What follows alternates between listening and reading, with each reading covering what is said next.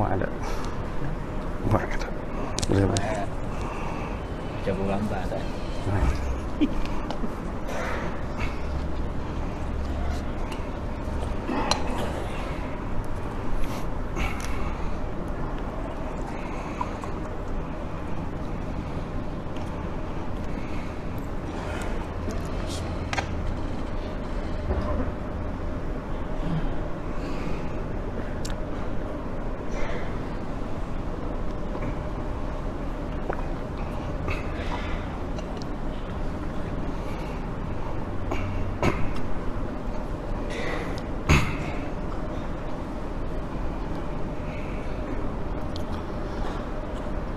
أعوذ بالله السميع العليم من الشيطان الرجيم. بسم الله الرحمن الرحيم. السلام عليكم ورحمة الله وبركاته. الحمد لله الحمد لله الحمد لله. الحمد لله رب العالمين. وبه نستعين على أمور الدنيا والدين والصلاة والسلام على أشرف الأنبياء والمرسلين وعلى آله وصحبه أجمعين. سبحانك لا علم لنا إلا ما علمتنا إنك أنت العليم الحكيم.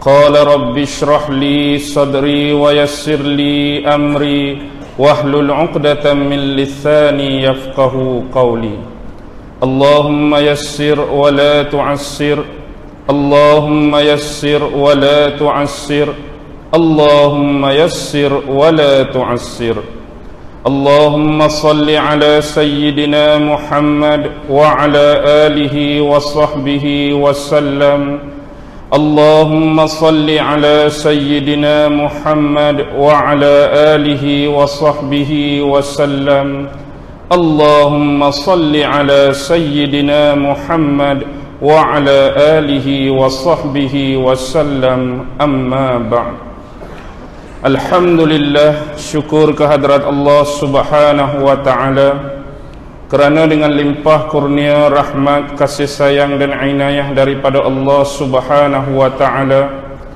alhamdulillah di malam yang penuh berbahagia ini masih diberi kesempatan dan keizinan oleh Allah Subhanahu wa taala pada malam ini untuk bersama ahli-ahli qaryah ataupun jemaah di Masjid Ar-Ridwan Hulu Kelang dan Alhamdulillah walaupun first time buat pertama kali saya bertandang dan hadir ke sini saya dapat gambarkan keceriaan pada wajah jemaah-jemaah sekalian dan mudah-mudahan pada malam ini majlis kita senantiasa dinaungi oleh keberkatan, keredaan dan rahmat daripada Allah Subhanahu wa taala insya-Allah.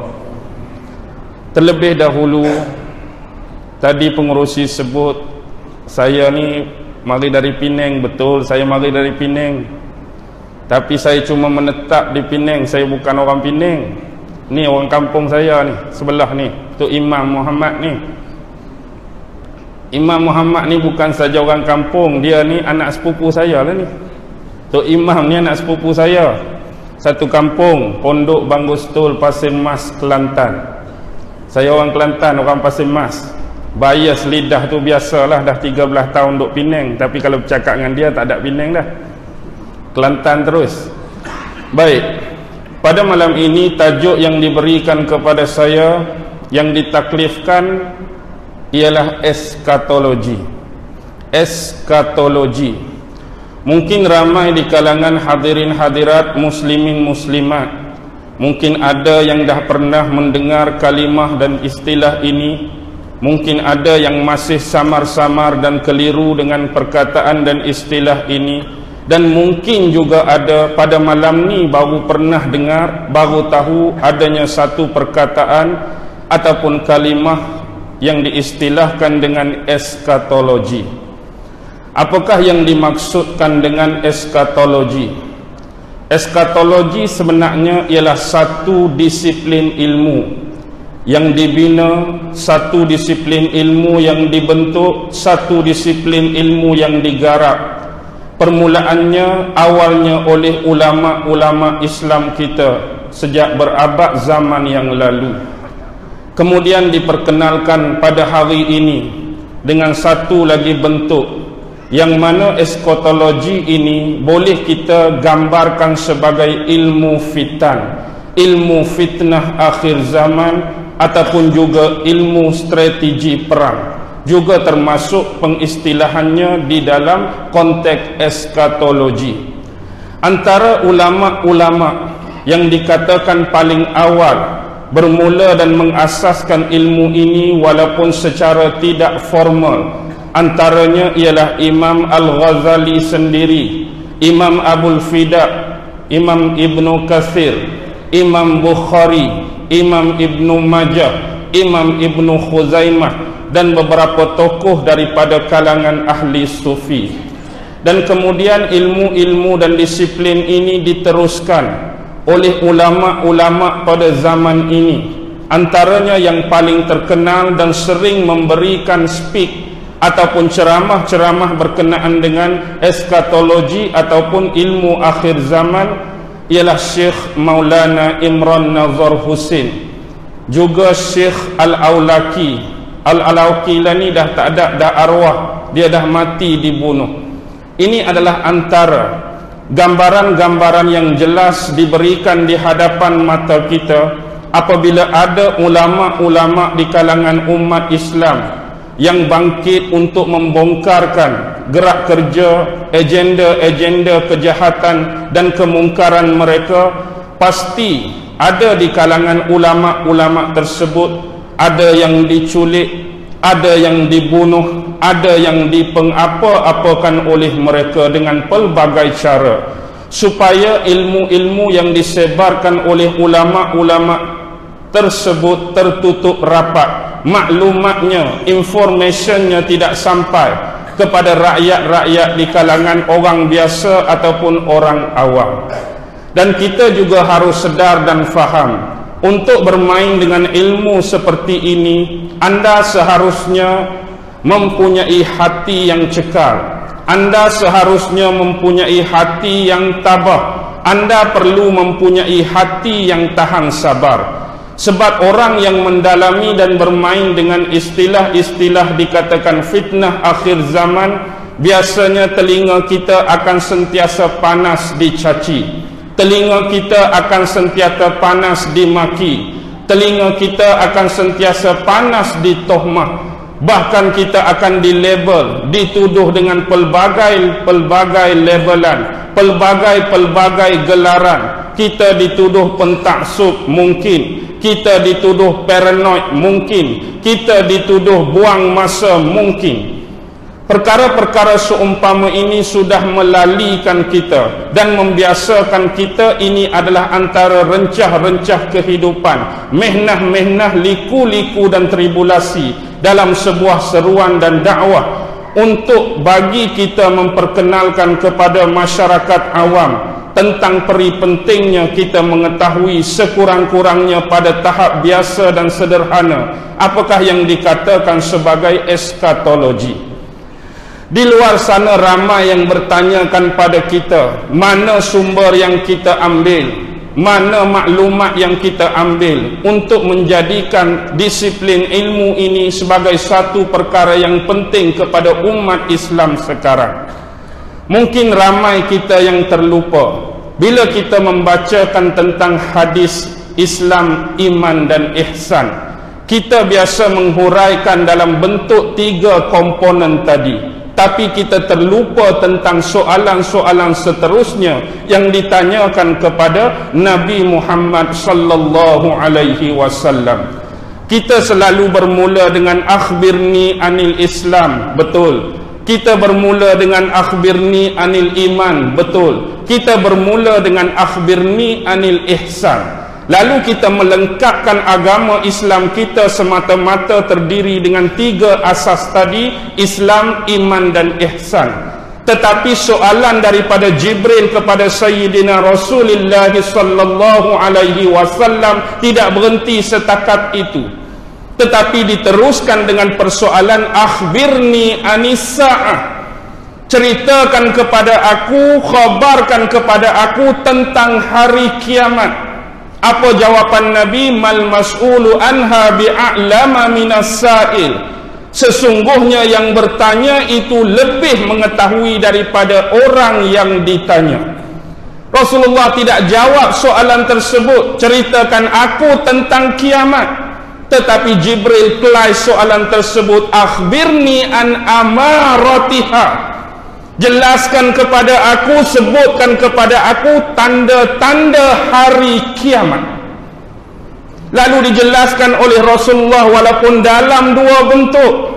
Antalidal amatu rabbataha. Suatu masa kamu akan melihat seorang ibu yang melahirkan anak-anak yang akan menjadi tuan wa antara al-hufata al-urata al-alata ri'a asya yatatawaluna fil bunyan kamu juga akan melihat seorang yang tidak beralas kaki tidak berselipa. Al-urata yang fakir miskin sampai baju dia koyak compang camping. Al-alata yang fakir sungguh yang miskin sungguh ri'a asya kebanyakan mereka cuma pengembala-pengembala dan penternak-penternak. Ya tatawaluna fil bunyan satu masa golongan inilah yang akan membina bangunan-bangunan pencakar langit.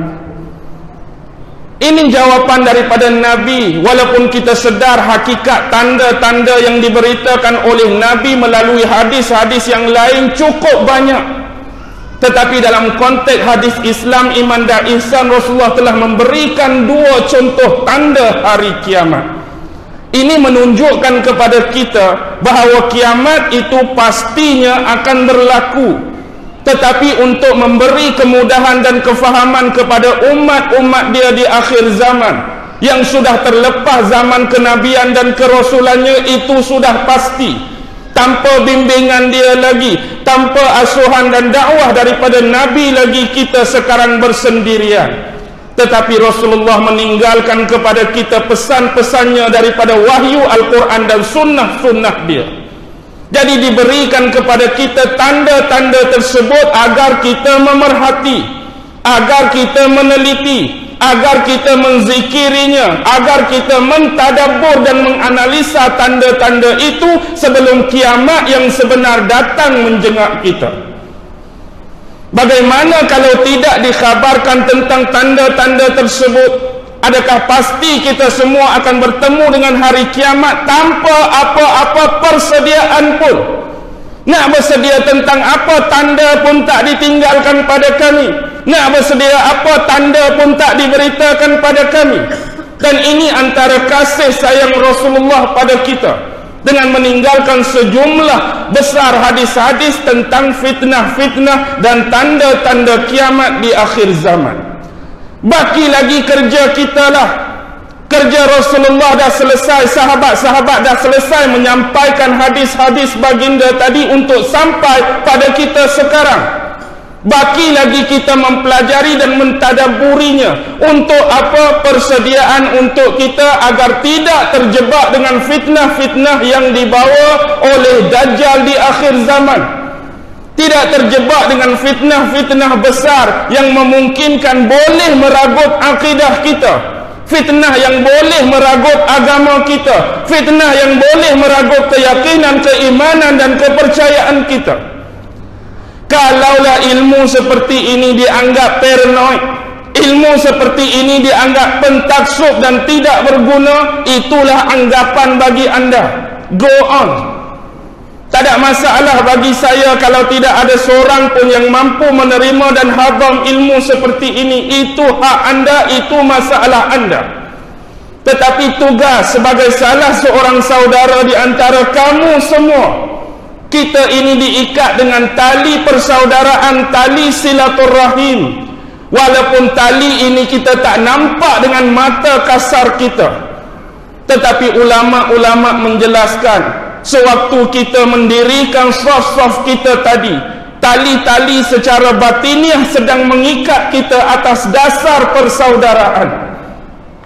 Tapi tali ini tidak jelas kelihatan pada mata kasar. Kadang-kadang sebab tidak nampak tali inilah kita membezakan diri kita dengan saudara kita yang lain.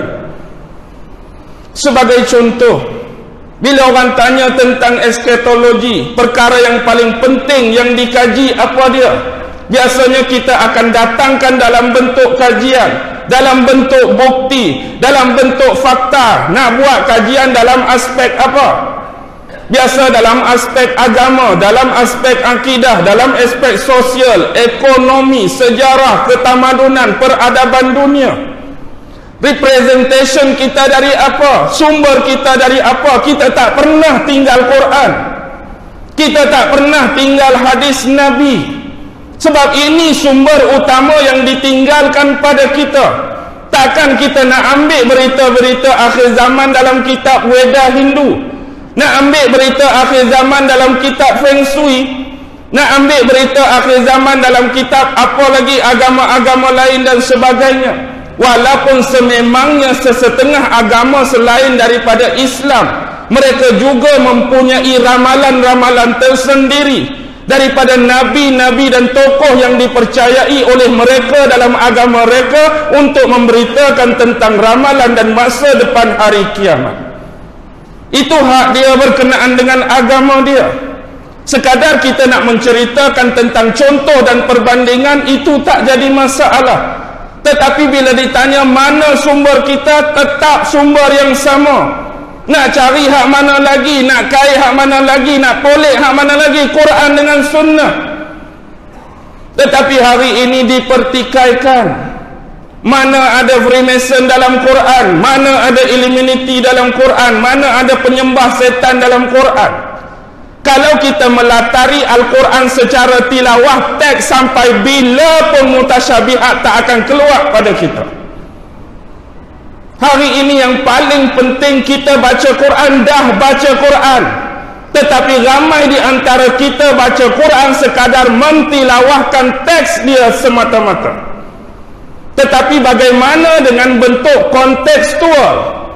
Aktual dia pergerakan dia action daripada ayat-ayat yang terhasil daripada bacaan kita sampai atau tidak pada minda kita sampai atau tidak pada hati dan keimanan seterusnya menggerakkan jawarih anggota kita untuk bertindak daripada tadabbur ayat-ayat tadi ada atau tidak Sementara perkataan-perkataan itu tidak wujud secara zahir, mari ikut mana ni ustaz?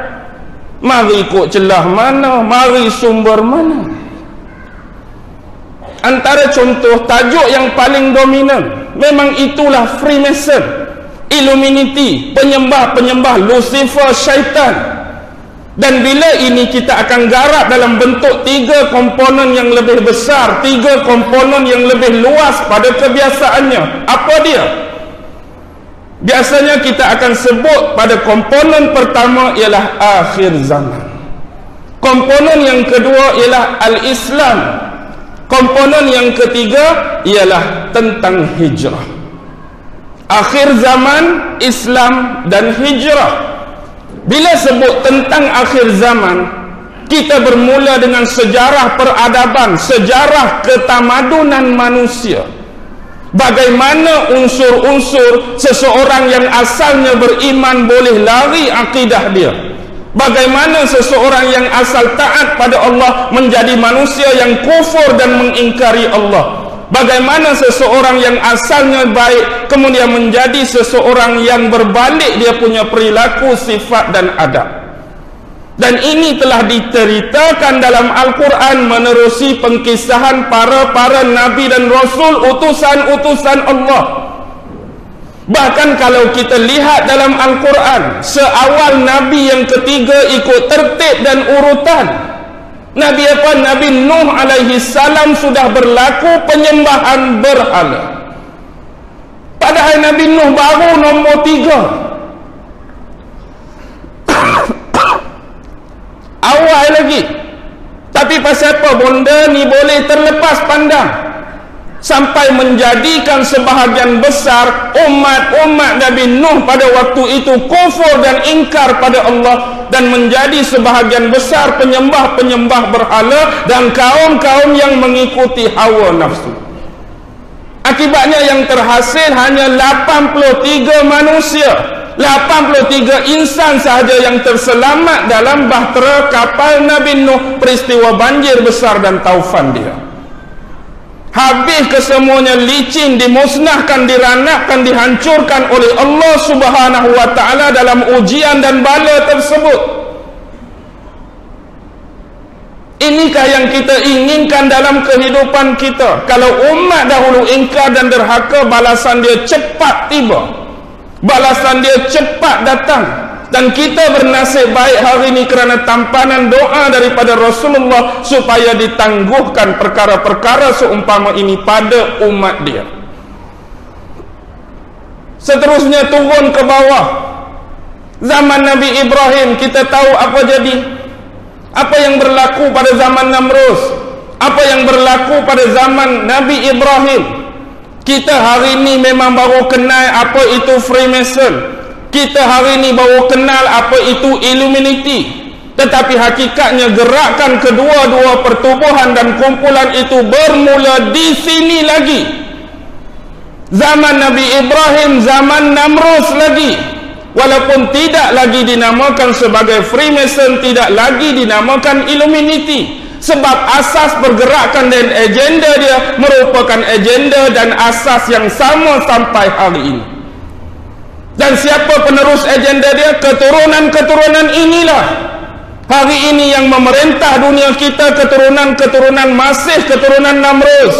Yang memerintah dunia kita hari ini masih keturunan-keturunan Fir'aun. Kita sedar atau tidak kita perasan atau tidak itu hakikat yang terpaksa dan perlu kita terima. Tetapi bagaimana kita sudah jauh terjebak dan boleh terlepas pandang sebelum itu kita habiskan beberapa komponen tadi yang kedua berkenaan dengan Islam biasa sub kategori dia akan pi pada lima pertama kita membahaskan tentang epistemologi Islam tentang metodologi Islam, tentang politik Islam, tentang sejarah Islam dan tentang perdagangan Islam. Yang yang terakhir ialah tentang hijrah. Bagaimana hijrah nak membentuk ekonomi Islam yang pernah diterapkan dulu yang berteraskan sistem dinar dan dirham. Yang akhirnya kita ditransformasikan dalam bentuk penipuan menggunakan wang kertas, wang fiat, wang kad dan wang elektronik. Hari ini semua menjadi hamba kepada benda ini. Semua menjadi penyembah kepada benda ini. Semua menjadi berhala kepada benda ini. Apa dia? Wang kertas. Seterusnya perbincangan tentang energi. Saving energy, alternative energy. Kemudian dibincangkan tentang pharma culture. Bagaimana kita nak menguruskan dalam bentuk nak mengelakkan makan dan minum kita pakai dan sebagainya dalam bentuk yang lebih terjaga dan terkawal yang ini yang diberitakan oleh Rasulullah sampai tahap fitnah itu membuat-buat dengan banyaknya ada sekumpulan manusia yang melarikan diri daripada jemaah yang ramai membawa ternakan-ternakan dan domba-domba mereka ke gunung-gunung cari punca-punca air semata-mata nak menyelamatkan akidah dan iman mereka ini antara komponen-komponen yang kita tidak ceritakan secara keseluruhan. Apapun, apa solution, inilah soalan paling penting. Kita dah cerita macam-macam, apa agenda mereka, apa penipuan mereka, apa pendustaan mereka, apa taktik mereka. Tapi apa dia solution? Apa dia jalan penyelesaian untuk umat Islam sekarang? kita dah diberitakan oleh Rasulullah dalam satu hadis bahawa untuk menangkis dan menangkal fitnah-fitnah dajjal diberikan kepada kita satu surah yang khusus apa surah tu surah al-kahfi lebih-lebih lagi pengkhususan hadis nabi 10 ayat yang pertama dan 10 ayat yang terakhir bila kita duk baca, kita duk hafal, kita duk ulang. Ustaz tak nampak jugalah fitnah dajjal. Baca tu lama dah.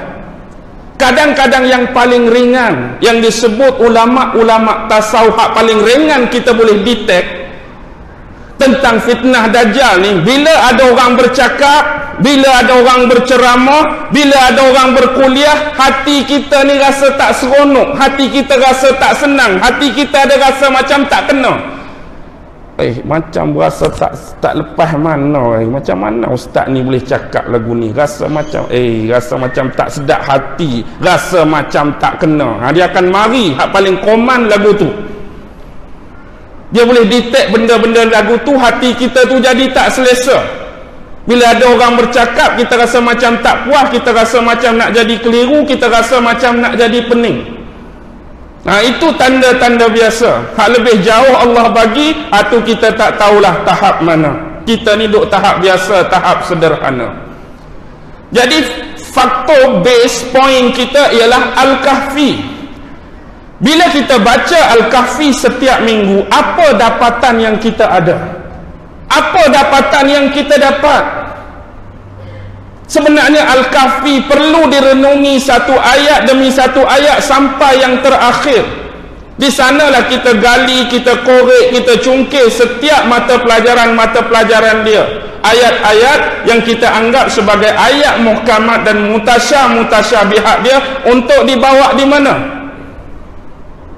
Di sinilah peranan khatib-khatib, di sinilah peranan imam-imam. Setiap perkara baru yang berlaku dibawa naik ke atas mimbar-mimbar. Untuk memperingatkan dari satu Jumaat ke satu Jumaat yang lain.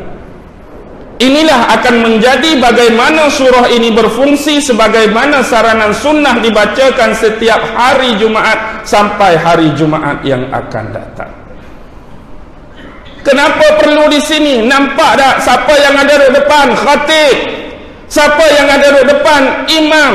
Bila imam duduk depan, ada makmum kita duduk dalam apa? Kita duduk dalam rumah Allah. Kita duduk dalam masjid. Paksi pertama yang Al-Kahfi nak bagi tahu ialah jatuh bangunnya rumah Allah atas nama surau ataupun masjid. Pembinaan dia perlu di sini kita hari ini jam, kita hari ini taruh biru, kita hari ini tak tentu kalu sebab pengurusan di sini masih tak beres. Tengok. Kita baca falsafah. Kita baca falsafah tentang ayat kursi.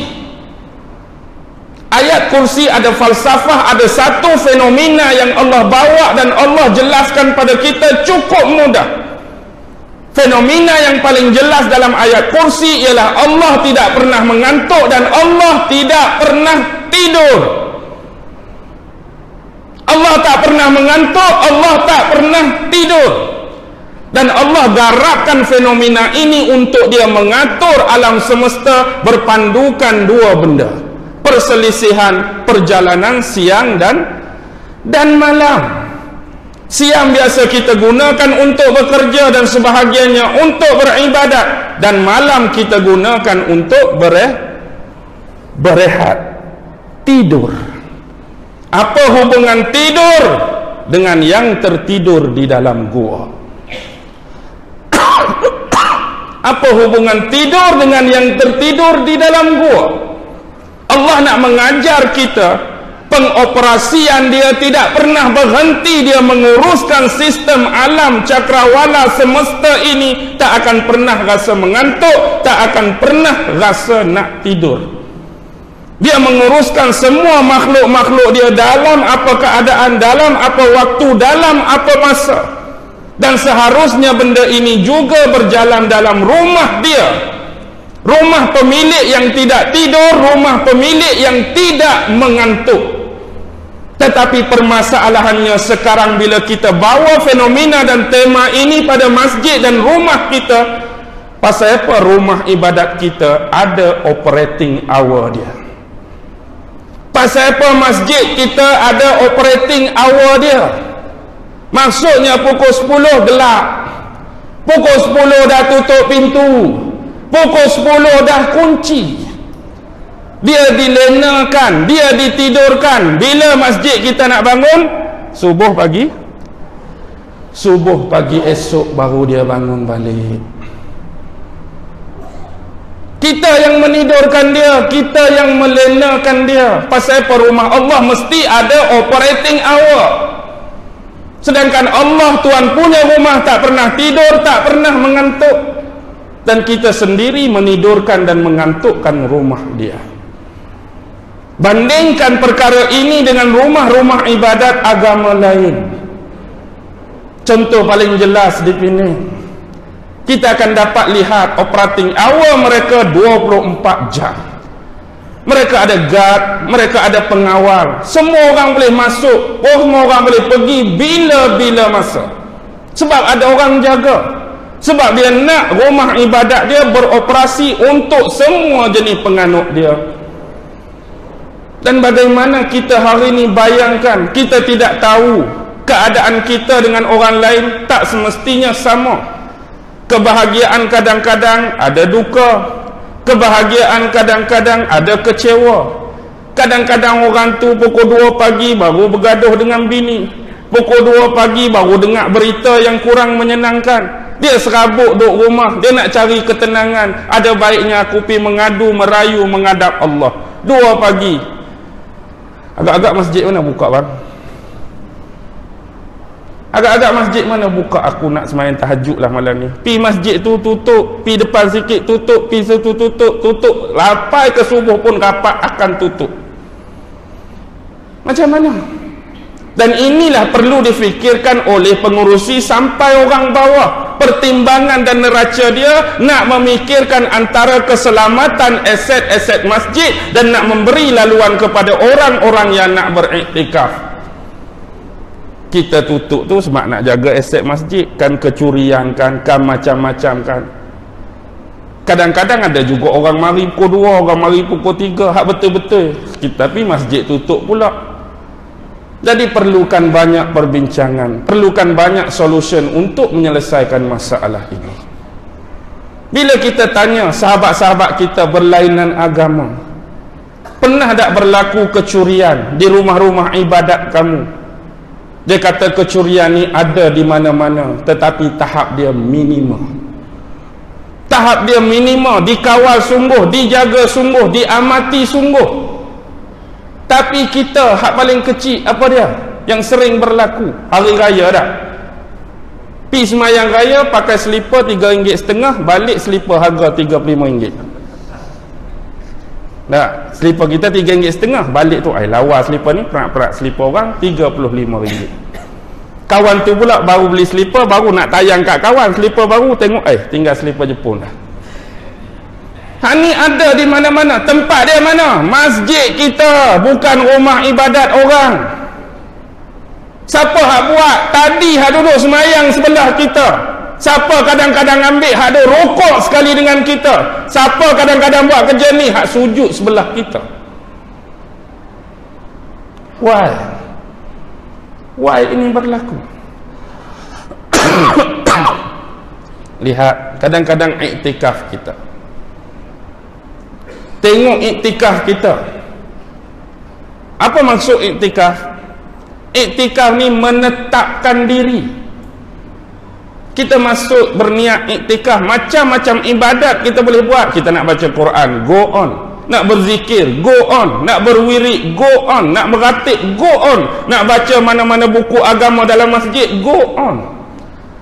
Tapi biasanya yang selalu kita buat ialah iktikaf apa iktikaf ritual ke iktikaf aktual yang selalu kita buat? Ritual ke aktual? Ritual yang selalu kita buat. Kita masuk buat benda saya sebut tadi. Iktikaf baca Quran iktikaf semayang sunat iktikaf meratik iktikaf tu. Aktual jarang ada. Masjid besar macam ni tak akan berlaku biasanya. Tapi masjid yang kecil-kecil mana bukti tak ada? Aktual kadang-kadang kita iktikaf ritual kita. Baca Quran habis tiga juzuk. Taik cicak dan taik lipah 3 kilo duduk sebelah. Tak ada siapa ambil tahu. Quran dah habis 3 juzuk. Taik lipah sebelah taik cicak sebelah. Tak ada siapa nak tolong sapu. Ritual kita buat aktual tak ada. Tindakan tak ada wirid 50 ribu. Subhanallah subhanallah subhanallah. Berapa dah 50 ribu? Ha, nampak atas. Sawang labah-labah penuh. Tak ada siapa ambil tahu. Eh, ikut dia lah labah-labah. Sambung lagi 10 ribu ustaz. Subhanallah subhanallah subhanallah. Ini kerja siapa? ni kerja siapa? dah kita lantik AJK mana AJK kebersihan? Mana AJK kebersihan rumah Allah surau tu hak AJK ke hak kita? Rumah Allah masjid hak AJK ke hak kita? AJK tu tukang mengurus bersih sama-sama lah. Dah kata masjid kita rumah Allah. Ni semua nak harap AJK ni kadang-kadang longkang ada sampah longkang ada ting tu pun AJK AJK dan longkang ada ting dah hang tengok ambil je lah dapat kedua ting je pun tu pun bagi tahu AJK bagian kebersihan kepala kait kepala paip patah pun AJK Hak dia tunggu bila? Nak tunggu bedai nanti mesyuarat agung lah. Ha, hang kena aku ni, aku dah tanda ni kepala paip patah belah ni, lampu bo tak nyala belah ni. Dia nak tunggu hak lagu tu. Jadi masjid ni jadi tempat apa? Tempat pergaduhan, mesyuarat agung, tempat adu domba, kadang-kadang tempat caci maki. Kadang-kadang tempat perbalahan politik, kadang-kadang tempat tohmah orang, cungkir peribadi orang. Jadi lagu tu dah. Sepatutnya masjid ini bila kotor sama-sama kita bersih, yang hadir sama-sama kita raih, yang jahil sama-sama kita bagi ilmu. Bukan nak buat fungsi masjid macam benda-benda tadi. Akibatnya bila kita buat operating hour pada masjid kita, masjid itu dilenakan, operasi dia ditidurkan dan masjid pun jadi macam masjid jadi macam gu gua oh. azan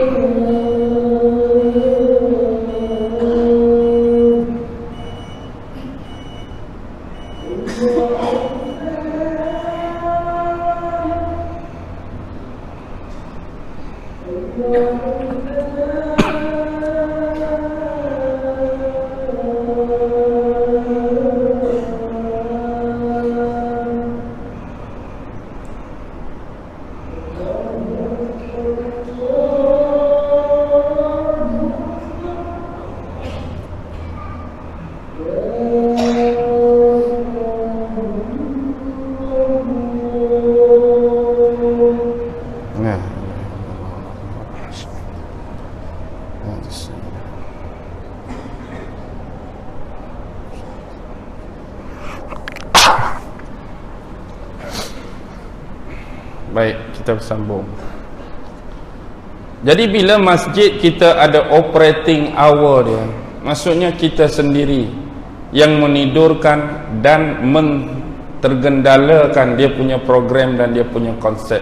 Akhirnya masjid kita rumah Allah jadi seperti gua. jadi dia tidur lena sekejap dia terlelap sekejap lepas tu bangun lepas tu berhenti. Lepas tu bangun. Lepas tu berhenti. Dia tak berterusan. Macam fungsi pada yang tidak pernah tidur dan tidak pernah mengantuk. Dan kita lihat juga apa yang Allah bagi clue pada kita tentang kisah Ashabul Kahfi. Ashabul Kahfi pada komponen tentang dia adalah permasalahan fitnah pada akidah komponen pertama fitnah pada akidah ada pada kisah Ashabul Kahfi kerana menyelamatkan iman masing-masing. Pattern dia sama macam Namrus. Pattern dia sama macam Fir'aun. Raja Dikianusum yang zalim berlaku penyembahan berhala secara besar-besaran. Dan lebih jauh dia punya perangai watak dan pattern seperti Namrus dan Fir'aun nak menjadikan dia sebagai Tuhan yang perlu disembah oleh rakyat-rakyat bawahan dia. Akibatnya nak jaga iman nak jaga akidah dan kepercayaan mereka melarikan diri meninggalkan segala bentuk kemewahan dan kesenangan yang pernah mereka kecap dalam istana. Mereka bukan orang biasa mereka golongan-golongan bangsawan dan menjadi orang yang dekat dengan raja yang dimaksudkan tetapi demi akidah, demi iman, demi kepercayaan mereka meninggalkan raja tersebut tak mau terlibat, tak mau terjebak sampai mereka terkurung dan tertidur dalam gua. Selama 300 tambah 9 jadi 309 tahun. Why ada teka-teki? Why ada istilah matematik di sini tak bolehkah terus disebut 309 tahun? Kan mudah.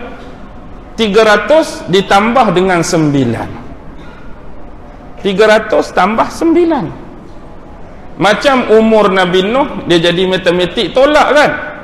Walaqad arsalna Nuhan ila qaumihi falabisa fihim alfasanatin illa khamsina ama Sesungguhnya kami telah mengutuskan Nabi Nuh kepada kaum dia falabisa fihim dan dia hidup di kalangan mereka alfasanatin seribu tahun illa khamsina ama kecuali lima puluh kan senang sebut sembilan ratus lima puluh terus Seribu tahun kecuali lima puluh. Ha, ni kena tolak. Jadi sembilan ratus lima puluh. Ha, ni tiga ratus tambah sembilan. Ada setengah riwayat dan pentafsiran menyebut. Tiga ratus tahun itu tidur dalam konteks kalender kalender hijri. Kalender berteraskan luna. Berteraskan bulan. Kalau 309 tahun kalender berteraskan Gregorian berteraskan solar berteraskan mata matahari jadi yang hijrah mesti dia punya jumlah lagi kecil dan lagi sempit daripada yang berteraskan matahari. Sebab bilangan hari dia setiap bulan lebih. Jadi hak kata 300 tu hak Islam 309 tu hak Gregorian hak berteraskan matahari ataupun solar. Dan ada juga riwayat pentafsiran daripada ulama lain bahawa 309 tahun itu tambah 9 tu yang betul-betul dan benar-benar tidur 300 yang gedebuk gedebak gedebuk gedebak berbalik ke kiri ke kanan tu 9 tahun. Hak tidur tetap tu 300 haduk koni koni koni koni tu 9 tahun. Maksudnya Allah balikkan mereka. Sebab itu punca daripada gua tu ada dua lubang. Satu sebelah timur satu sebelah barat bila matahari naik dari timur cahaya pertama hari tersebut masuk pada mereka Allah balik kok ni. Bila matahari nak terbenam masuk sekali lagi cahaya kok belah barat Allah balik kok ni. Jadi begitulah selama 300 tahun. Tapi dalam tempoh 300 tu hak dia duk balik-balik tu dia punya analisa dia punya kira-kira dia punya congak 9 tahun. Begitulah kita tidur hari ni Ustaz saya pukul 10 semalam duduk lagu ni. Bangun subuh 6 pagi pun lagu ni juga. Sikit pun tak bergerak. Siapa dia angkat tangan? Tak ada. Kita tidur ni 14 kali 20 kali. Sak kau ni sak kau ni asal kepala kau ni kepala kau pun boleh jadi. Itu manusia. Dah tabiat dia. Pasti akan bergerak pasti akan ber, berbolak balik jadi yang jadi perbahasan ialah kebiasaan tafsir-tafsir ini kadang-kadang disertakan dengan nama-nama mereka. Orang tu baca kitab tu nama lagu ni keluar. Orang tu baca kitab tu lagu ni nama keluar. Orang tu baca eh aku pula nama lagu lain. Antara yang masyur ikut dia lah orang lain punya pendapat orang lain punya bacaan kitab yang saya jumpa dalam khazinatul asrar imam al-haqqu an-nazili. Nama yang disenaraikan dalam tu walaupun bentuk dia israiliyat tamlikha muslinia mukaslinia marnushun dabarnushun tazayushun kafash tazayushun.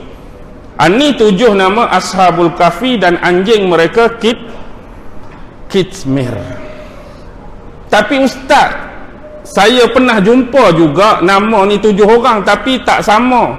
Bunyi dia lagu lain. Ha, ikutlah. Satu pendapat imam lain. Satu riwayat imam lain. Tapi apa pun yang Allah nak cerita hak inilah yang kita duk bergaduh hak inilah yang kita duk masam muka dengan orang lain. Kan Allah dah sertakan awal-awal al-surah kahfi kamu akan bergaduh tentang jumlah dan bilangan mereka ada hak kata tiga sekali dengan anjing dia. Mari grup lain kata lima sekali dengan anjing dia. Mari grup lain kata lapan sekali dengan anjing dia. Allah dah tunjuk tu. Hak betulnya Allah cerita tak berapa? Dalam Quran. Allah tak cerita berapa. Tapi yang masyur tujuh. Memang yang masyur tujuh. Tapi Allah dah tunjuk pada kita kita akan bergaduh berbalah benda remeh temeh ni eh tiga. Eh aku punya kitab lima. Aku punya tok guru tujuh. Lepas tu masing-masing nak menegakkan hujah nak menegakkan dalil. Hak tu kata hak ni kata hak ni kata hak ni kata hak betulnya kita pun tak pasti. Allah tak cerita secara jelas walaupun masyhur tu tujuh. Kemudian duk gaduh bilangan dia gaduh bab nama pula Oh, ustaz semalam mengajak ulu kelang dia sebut nama lagu lain. Kita kan belajar dengan ustaz kita dulu nama lagu lain. Hak mana betul ni hak kita ke hak ustaz? Adakah nama tu jelas dalam Quran? Tak ada. Nama jelas dalam hadis? Tak ada. Riwayat saja. Bila dia riwayat tambah-tambah Israeliat dia sekadar penghuraian. Tak boleh jadi hujah tak boleh jadi bukti. Untuk huraian saja tak ada siapa tahu nama dia yang sebenar ni pun kadang-kadang duk bubuh di rumah duk bubuh di kepala kapal duk bubuh macam-macam tak konon-kononnya ha, kalau bubuh di kapal tak di lambung ombak padahal kapal mana tak di lambung ombak Pilah bila duduk dalam air ombak lambung kapal mana-mana pun. Baik. Dah bergaduh bak bilangan, dia bergaduh bak nama. Lepas tu dia bergaduh bak apa pula? Bak tempat. Dia bergaduh bak tempat. Eh ni berlaku di mana ni? Ah ini berlaku di Syria. Ni di mana Tor Susun ni? Di mana kampung Af Susun?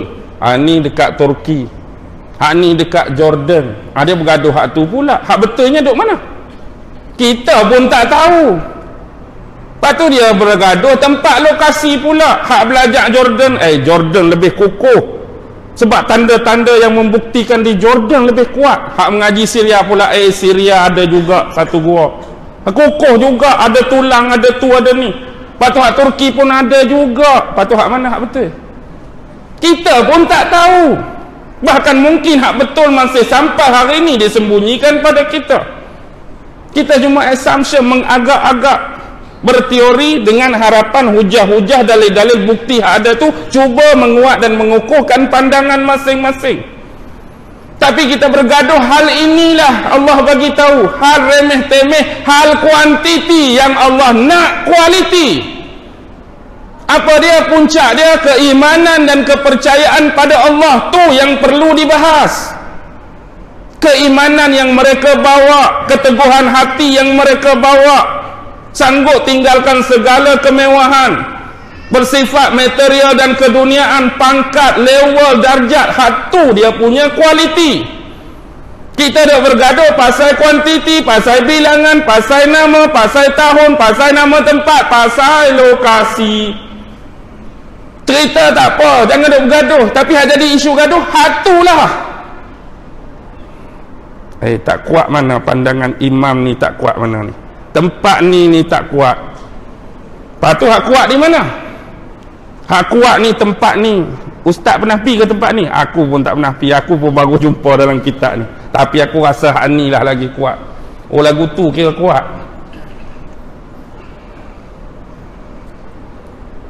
Tu penting. Kemudian kita bawa satu babak lagi.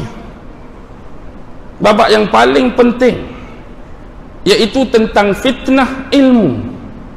Fitnah ilmu ada pada komponen Nabi Musa dan Khidir. Fitnah ilmu ada pada komponen Nabi Musa dan Khidir.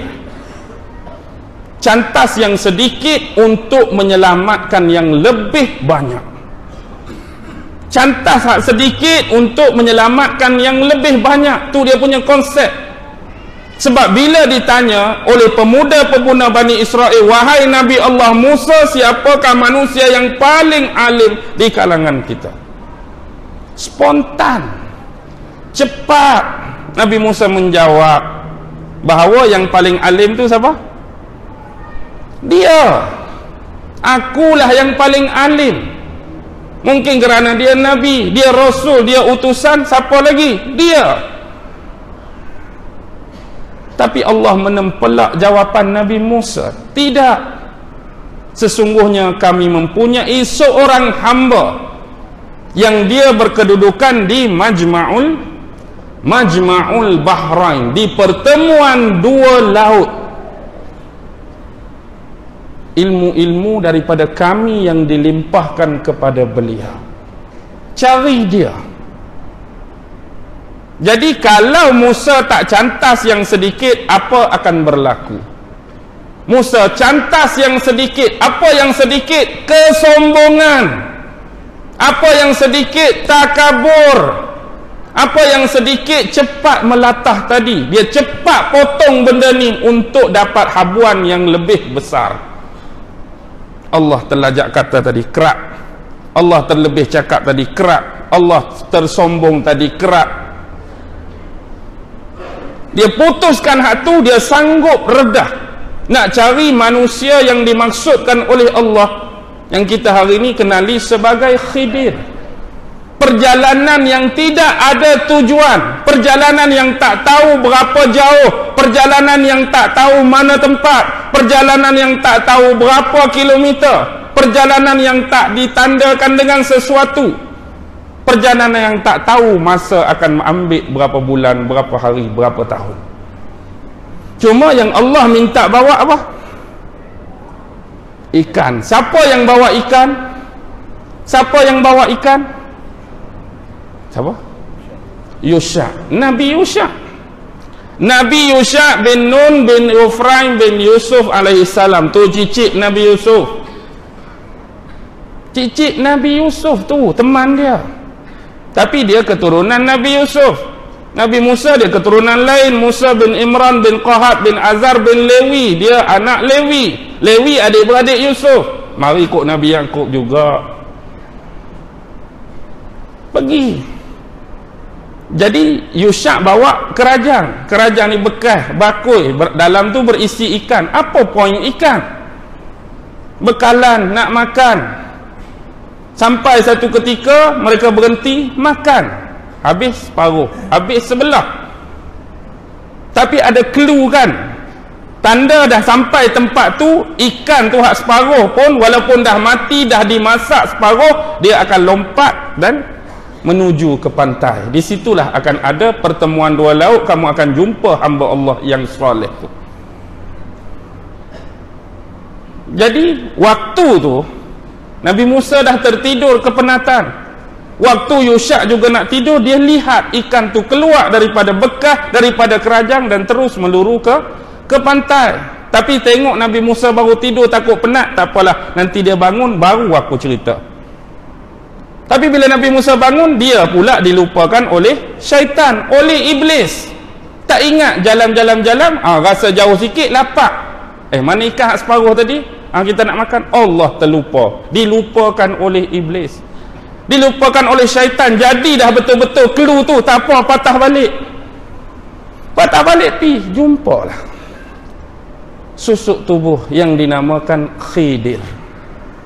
Dalam riwayat nama dia Balia bin Malkan bin Falih bin Shalih bin Abir bin Arfashad bin Sam bin Nuh alaihi salam.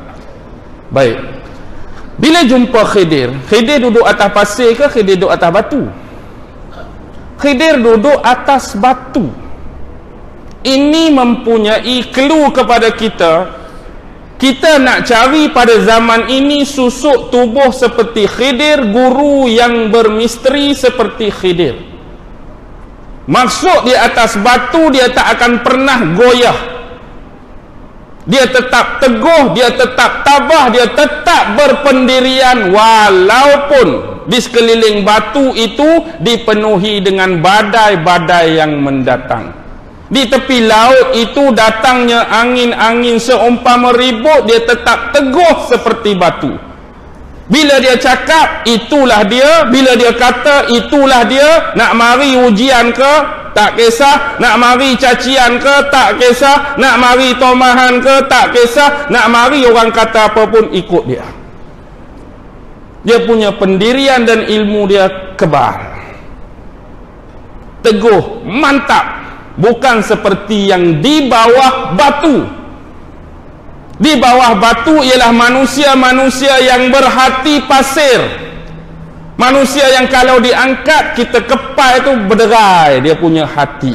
Manusia yang bila mari air halakan dia duduk satu tempat kemudian pendirian dia berubah ke tempat yang lain. Ini manusia-manusia berhati pasir. Hak pasir duduk bawah, hak batu duduk atas dan sifat yang dia tunjuk apa dia ikan tadi. Clue dia ikan tanpa air akan mati hati tanpa zikir akan ma mati. Ikan tanpa air confirm mati hati tanpa zikir confirm mati.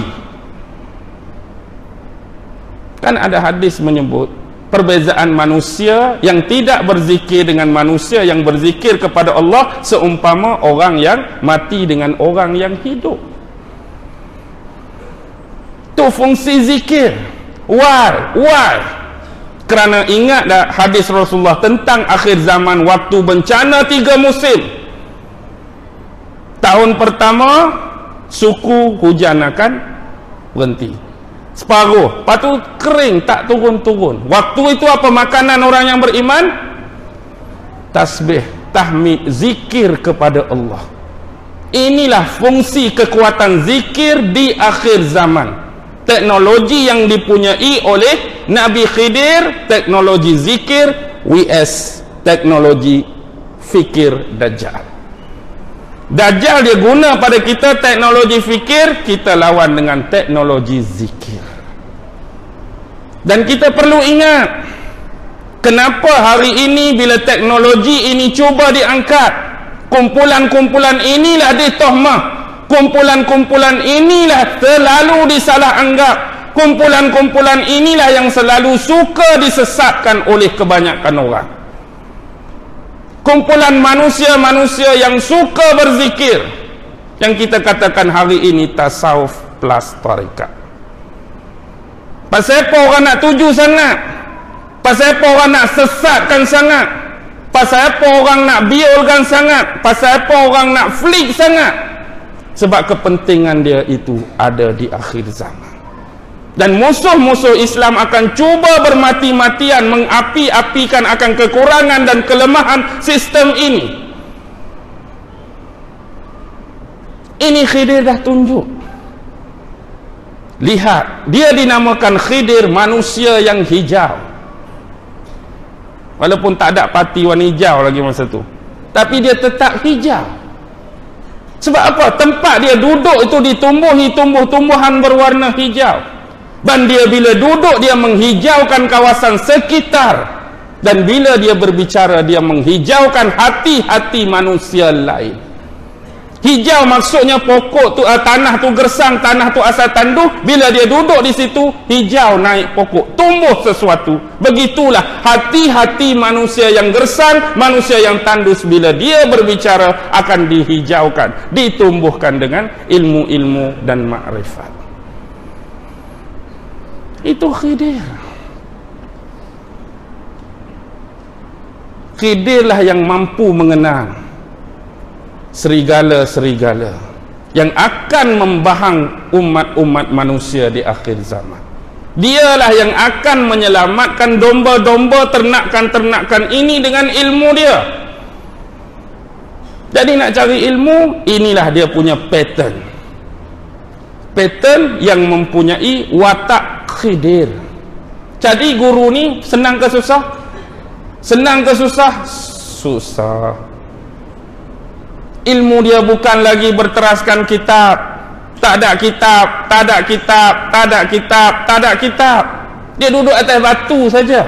Dia ada ilmu yang tersendiri datang daripada eksternal. Eksternal mana? Atas alam langit alam ilahi. Digabungkan dengan pemahaman terus secara internal yang Allah bagi kepada dia digabungkan kedua-duanya. Jadi dia ada sisi eksternal dan internal tetapi perancangan Dajjal hari ini supaya kita nampak setiap apa yang ada atas dunia hanya sisi eksternal. Nak suruh kita nampak material rumah besar kereta banyak isteri cantik ada perniagaan tu bangunan ni rumah banyak. Tapi hak internal siapa yang ambil tahu sekarang? Hati yang kering hati yang gersang hati yang terluka hati yang tergiris hati yang tandus hati yang tak ada air hati yang tak ada benih. Manusia-manusia gersang di akhir zaman mereka hanya memikirkan perkara-perkara yang bersifat material dan kemewahan. Tetapi kadang-kadang bagaimana nasib saudara yang lain? Nasib-nasib juga mohon ustaz umumkan kutipan derma untuk dakwah Masjid Ar-Ridwan. Silap dia suruh umum 15 minit nak selesai. Saya pergi umum dah tak baca hak merah tu. Jadi kita nak habis pukul 12 kan? Ah, jadi 11.45 lah umum. Okey, sambung. Bagaimana dengan nasib hak lain? Kadang-kadang terbiar sebab kita bawa status sosial hari ini seseorang itu individu itu dianggap berjaya dengan penampilan-penampilan tadi orang tu ada rumah tiga tengkap dianggap berjaya dalam dunia. Orang tu ada isteri cantik dianggap bertuah. Orang tu ada kereta empat biji dianggap berjaya. Orang tu ada kerja yang bagus-bagus dianggap berjaya. Orang tu gaji 20 hingga 40 ribu sebulan berjaya. Lepas tu selain pada tu ada di kampung-kampung hak orang awam biasa dianggap tak berjaya. Jangan contohi golongan macam ni. Tadi dah tunjuk tentang masjid kita. Masjid kita. Apa fungsi masjid kita dengan the main kita punya masjid, Masjidil Haram. Ditukarkan solat tahiyatul masjid dengan to? Tawaf. Tawaflah tujuh kali. Tawaflah tujuh kali. Tawaflah tujuh kali. Bawa isu tawaf ini ke mana? Di sini. Ke mana? Rumah Allah ke mana? Surau. Checking and balance tujuh kali tengok. Berapa orang yang buat siapa yang setiap hari tawaf masjid dia tawaf surau dia tujuh kali untuk check and balance. Dia tawaf kali pertama mana dinding-dinding hak nak pecah. Tawaf kali kedua mana lampu-lampu hak bulb mati. Tawaf kali ketiga mana longkang-longkang tersumbat. Tawaf kali keempat mana cat-cat hak pudak tawaf kali kelima mana apa ni siling-siling hak nak pecah hak tembus. Tawaf kali kenang kepala paik tercaduk. Tawaf kali tu cat dekat dekat parking kereta dah lama dah tanggai dah lama dah haus berapa orang tawaf Berapa orang tawaf? Tengok kekurangan yang ada. Ini tawaf masjid yang paling kurang paling koman lebih kurang 40 rumah duk sekeliling masjid. Berapa orang yang tawaf tengok berapa orang yang anak dia tak makan dah 3 hari. Berapa orang tawaf tengok dia nak pergi sekolah nak bagi duit ke anak pun tak ada. Tawaf berapa orang yang tengok suami dia tu dah lama sakit jemaah tak tahu. Tawaf siapa ni ada masalah tawaf ni ada masalah tu. Siapa yang tawaf siapa yang tawaf maksudnya dia tawaf sungguh-sungguh sana lah.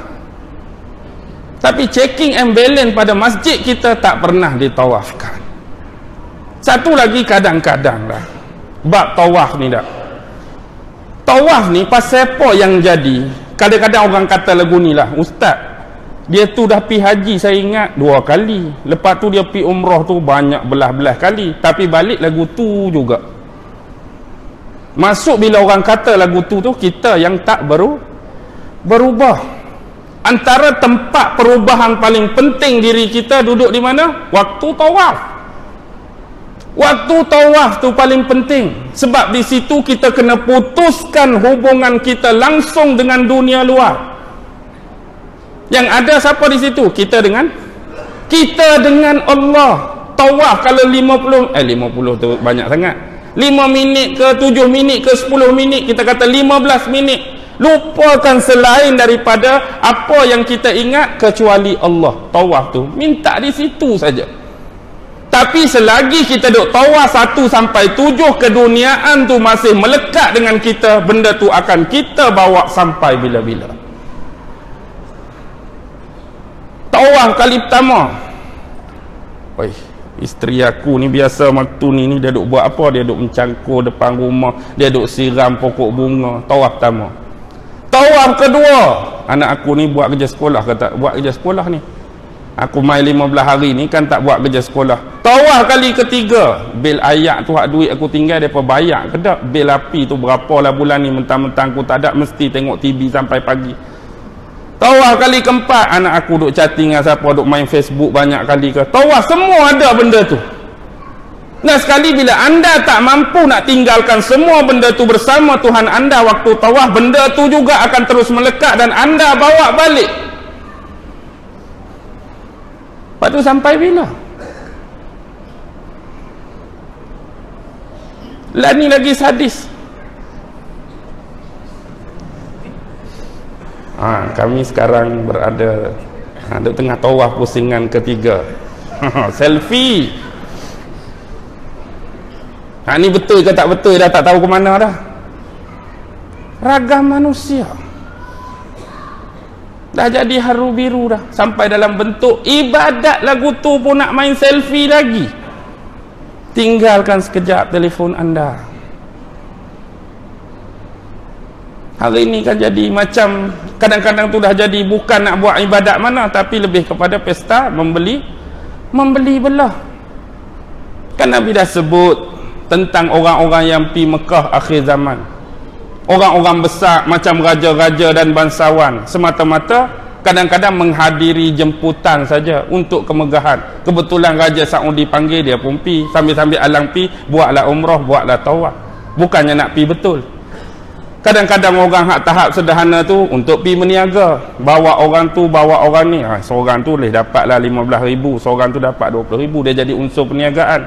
Tak salah tu rezeki masing-masing tapi Rasulullah gambarkan orang hak miskin bermasalah buat masalah pi sana banyak nak jumpa duduk tepi tu meminta-minta lepas tu orang awam dia Orang awam dia untuk apa? Dipanggil geralan. Mak, mak. Oi. Mak, mak. Hmm. Haji mat, haji mat. Oh, baru balik. Mak, mak. Aku baru balik dua hari je. Haji lah depan. Nakkan nama, nakkan gelaran. Kalau orang panggil mak tak mau menyahut. Dah jadi budaya belah kita kan. Haji. Orang lain tak ada haji pun. Orang lain pergi Mekah 14 kali pun duk nama tu juga kita je haji Okey. Baik. Kembali. Kita tengok sistem Nabi Khidir tadi. Satu benda yang saya tertarik bila baca kisah Nabi Khidir ni, kemana hilang watak Yusha bila bermula pembelajaran dan pengembaraan Nabi Khidir? Kan Nabi tu pi dua orang. Tapi bila start belajar, watak tu dua. Di mana hilang watak Yusha? Start saja belajar watak Yusyak hilang terus. Pi mana watak Yusyak? Eh takkanlah tinggal kawan mentang-mentang dah jumpa apa yang kita cari. Okey, hang duduk diam sini ya, biar aku seorang pergi belajar.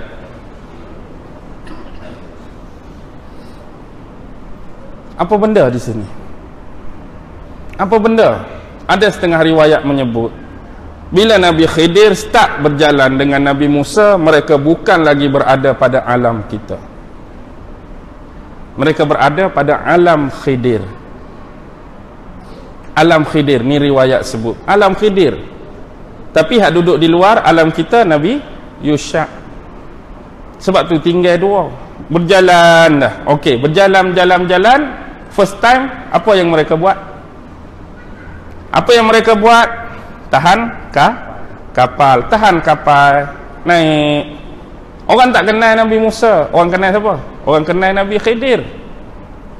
Orang kenal Nabi Khidir. Padahal dia Nabi dah tu. Orang kenal Khidir naik. Bayar ke tak bayar? Percuma.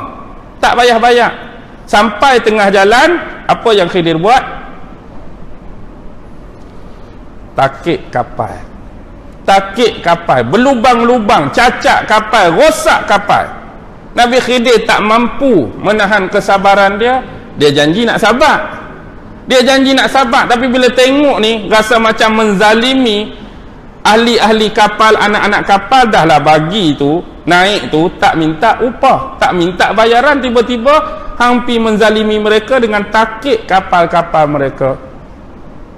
Han janji lah kan Jangan banyak tanya Jangan banyak soal oh, Maaf aku tersalah Kemudian sampai Bila sampai turun Apa makna dia tu Apa makna dia Sebab depan tu Di pelabuhan ada apa? Ada apa? Di pelabuhan ada apa? Sebab apa khidir takik kapal Di pelabuhan tu ada Raja. Raja yang raja yang zalim. Dalam riwayat Israiliyat raja tu nama Hudad bin Budad. Hudad bin Budad raja tu akan merampas kapal-kapal yang baik dan dia akan membiar kapal-kapal yang tak elok ada kecatatan dan ada kerosakan. Baik kita terfikir kadang-kadang. Semua orang menganggap raja tu zalim. Sebab kita menyebut dia raja yang zalim. Okey. Sekarang cuba perhatikan watak-watak ini. Gambaran Nabi Khidir dan Nabi Musa mereka hanya berjalan kaki tanpa bawa apa-apa bekalan. Sama ada makanan sama ada minuman sama ada duit sebagai bekal untuk beli sesuatu kosong zero tak ada apa. Tumpang di atas kapal. Yang sempurna, yang lengkap, yang dipenuhi dengan pekerja. Tanpa bayaran percuma tetapi perlambangan tangan khidir mengangkat kapak dan merosakkan kapal ini. Apa makna dia? Kita datang ke dunia ini tanpa apa-apa. Kita kosong semuanya atas rahmat daripada Allah. Dan kita melayari kehidupan ini sama seperti Musa dan Khidir melayari bahtera dalam lautan pastinya kadang-kadang ada ombak kadang-kadang air dia tenang itulah kehidupan kita manusia kadang-kadang kebahagiaan dan ketenangan kadang-kadang diancam oleh ombak dan ketakutan tetapi ingat jangan sesekali rosakkan amanah ini. Jaga kapal ni betul-betul. Jaga kapal ni elok-elok. Tetapi kebanyakan manusia suka merosakkan dan memusnahkan kapal yang free dan percuma ini. Kita sendiri tangan kita yang rosakkan kapal kita. Kita yang merosakkan amanah ini Tapi bila sampai di sana Yang kita kata raja yang zalim Siapa agak-agak raja duduk di pelabuhan Destinasi sesuatu perjalanan. Yang sifat raja ni hanya pilih kapal-kapal yang tip-top. Pilih kapal-kapal yang baik. Pilih kapal-kapal yang bagus. Kapal yang cacat Sorry. Kapal yang rosak sorry. Kapal yang berlubang sorry. Kapal yang punah sorry. Faham ke tak faham? Faham ke tak faham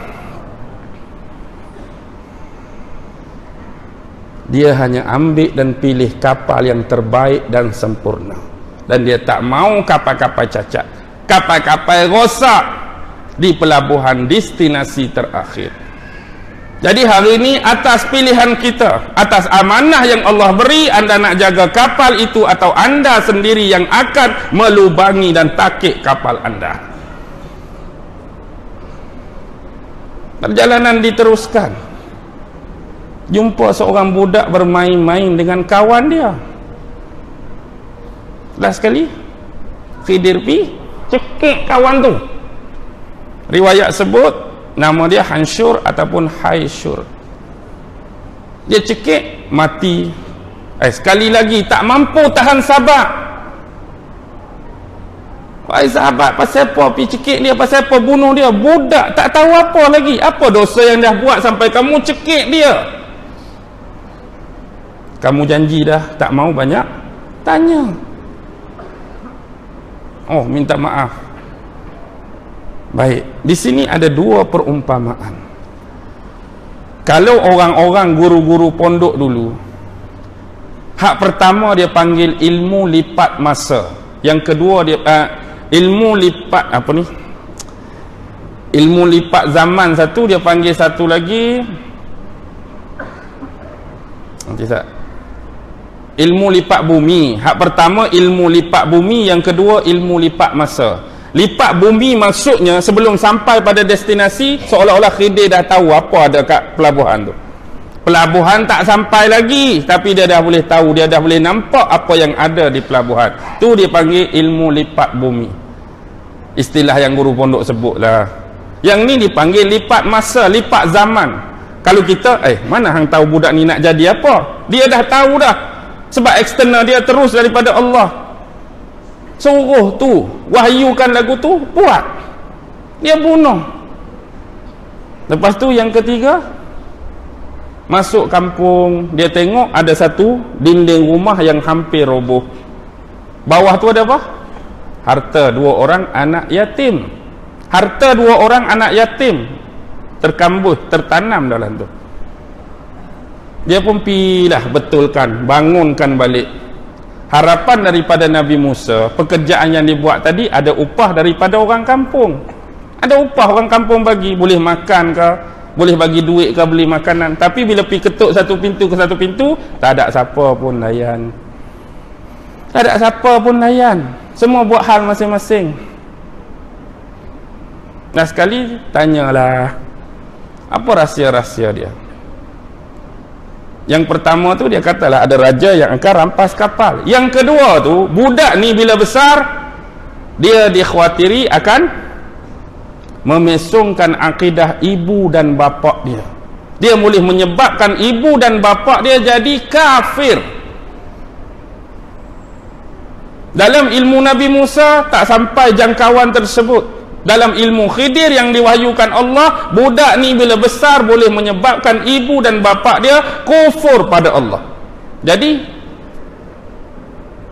kerak yang sedikit untuk maslahat yang lebih besar. Cantas yang sedikit ni. Hatu pun cantas yang sedikit. Hak depan tu cantas sedikit juga. Buat seorang jaga hak lain. Maksudnya orang dalam kapal tu bebas buat kerja. Hak ni pun cantas ni selamat hak lain Lepas tu bagaimana cerita bawah tu? Dinding yang hampir roboh. Apa yang hampir roboh sebenarnya? Kita ni jatuh bangun apa lah ni? Jatuh bangun aga agama. Agama kita ni nak hampir roboh, dikerjakan, dianaya, dizalimi, difitnah. Tapi nak bangunkan kembali ada dua di bawah tu. Hak Nabi tinggal apa dia? Apa dia harta dua anak yatim Nabi tinggal apa Quran dengan sunnah tapi siapa yang menjadikan mereka hari ini yatim saya kamu kamu kamu siapa yang hari ini tak baca Quran dah Siapa yang hari ni tak mau berkawan dengan dia? Siapa yang hari ni tak mau bersahabat dengan dia? Siapa yang hari ni tak mau baca dia? Siapa yang hari ni tak mau berkawan dengan dia? Orang luar agama atau orang dalam agama ni yang mengasingkan dan menganaktirikan dia seterusnya menyebabkan dia yatim dan tidak diambil tahu. Siapa? Siapa? Sunnah Nabi. Siapa yang mengabaikan sunnah yang ada selama ini orang luar agama kita ke orang dalam agama kita yang meremehkan sunnah dalam agama kita. Yang mengenepikan sunnah dalam agama kita. Yang tak mau sunnah ditegakkan Quran disedakkan pun dalam golongan ini juga. Mereka dah diyatimkan. Tapi bila minta pertolongan daripada orang ramai? Sorry sorry. Ketuk pintu. Sorry sorry sorry. Kami tak mau ambil tahu bila sebut pasal dua ni tak ada orang nak ambil tahu.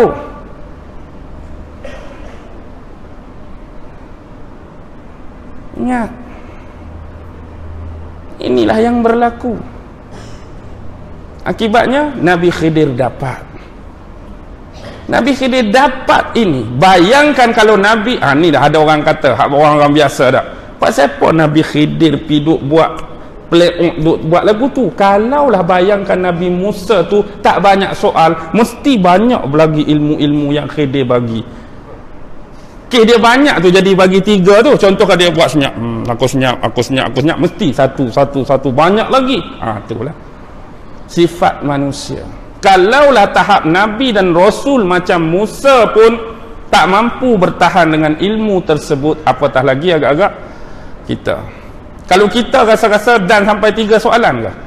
Rasa tak kapai pun tak berapa nak lepas dah tak? Eh hey, biar betul ini hang ni. Kapai orang kapai orang. Tapi lihat. Pasal apa semua perbuatan tersebut tak ada hukuman? Kalau alam kita contoh syariat kita perosak barang orang perlu ganti atau bayar. Khidir kena atau tidak? Tak kena. Eh pasal apa tak kena rosak barang orang bunuh orang. Bunuh bunuh. Bunuh balas kisos tak kena juga. Lepas tu hak ni tak ada kena apa-apa juga.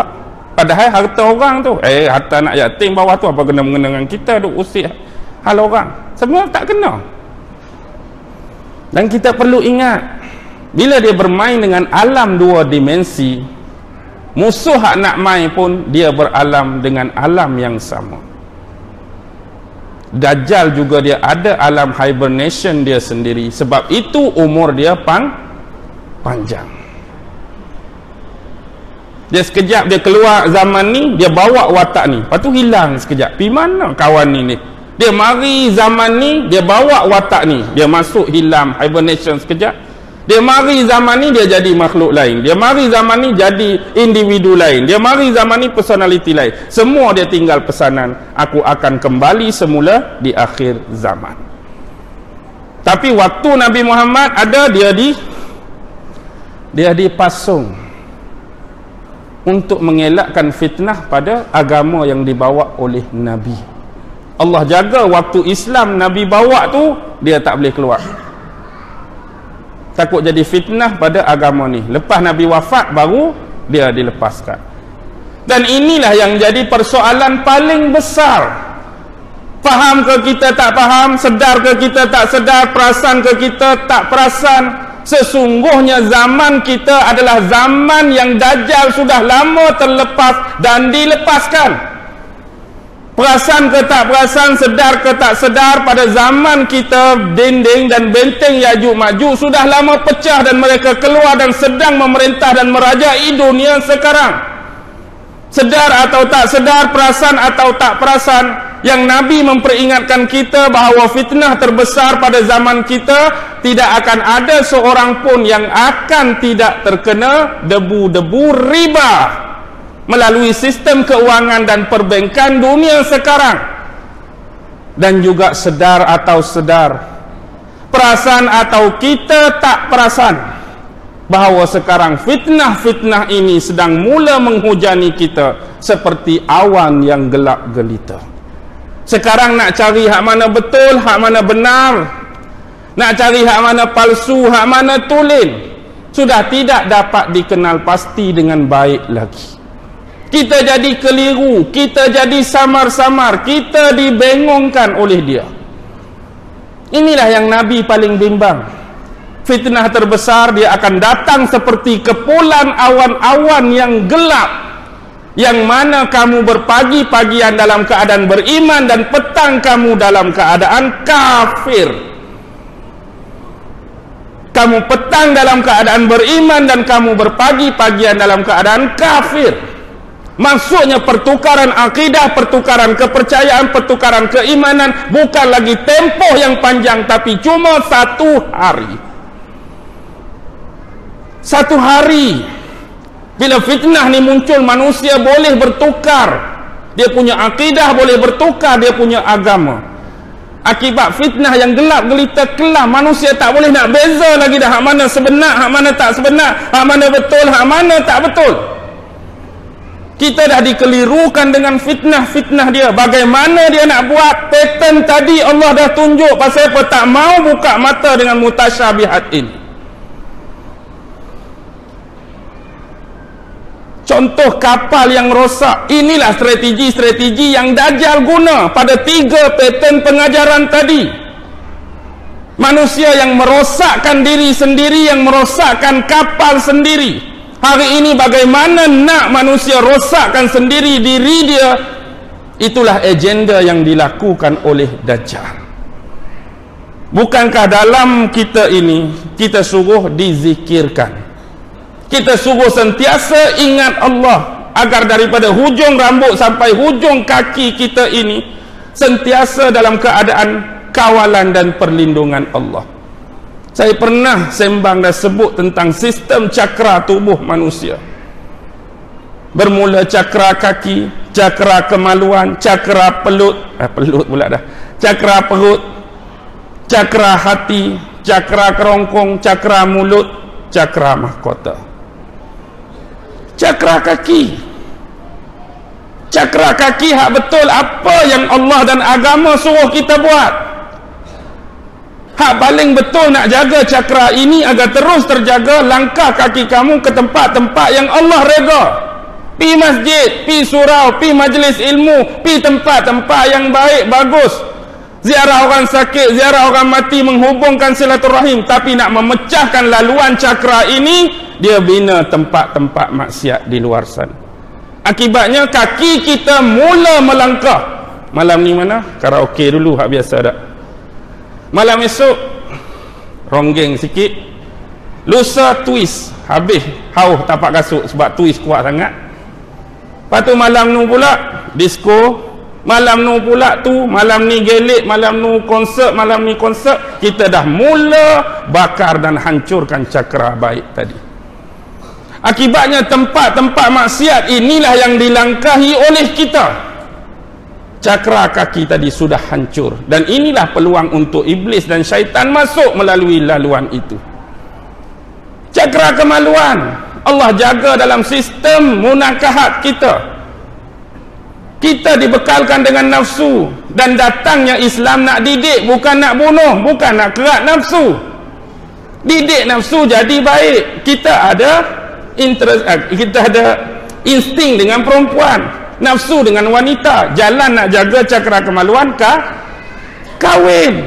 Lampiaskan nafsu kamu dengan pasangan yang sah dan halal. Tapi mereka buat sebaliknya. Mereka buat apa? Ha, perjumpaan muda-mudi perjumpaan perempuan tu dating ni dating ni dating ni. Last kali hubungan makin akrab makin rapat makin rapat jadi apa? Perzinaan hubungan luar sah, luar nikah, sumbang mahram.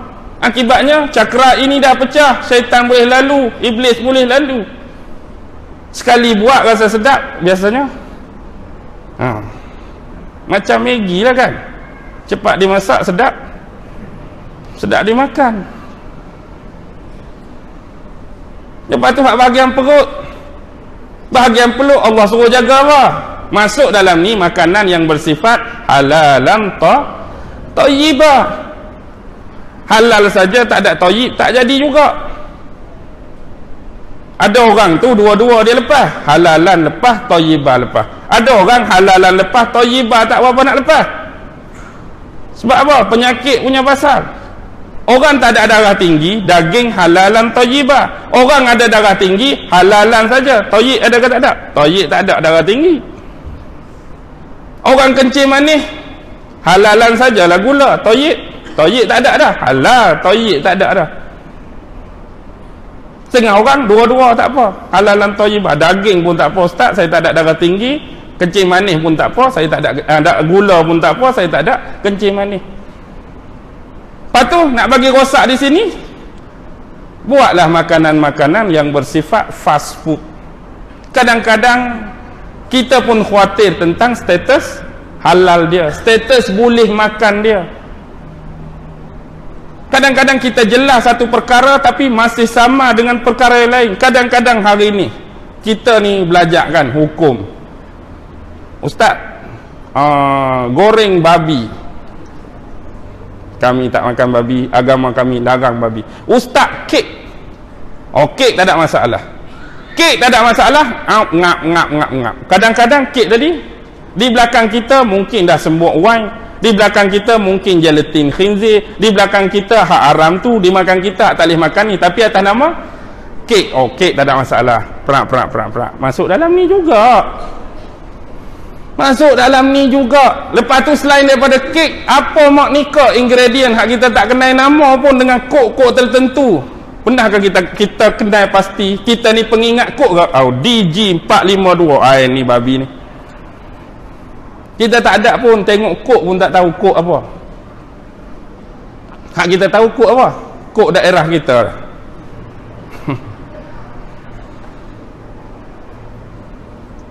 Kok daerah kita? Satu lagi iyalah kok. Ha, tu hak kita tahu. Tu makanan. Bahagian hati. Bahagian hati tak payah ceritalah. Hak bahagian hati ni sifat-sifat mahmudah. Baik hati bersih, setia. Tapi kita duk isi dengan apa? pemarah, bengih.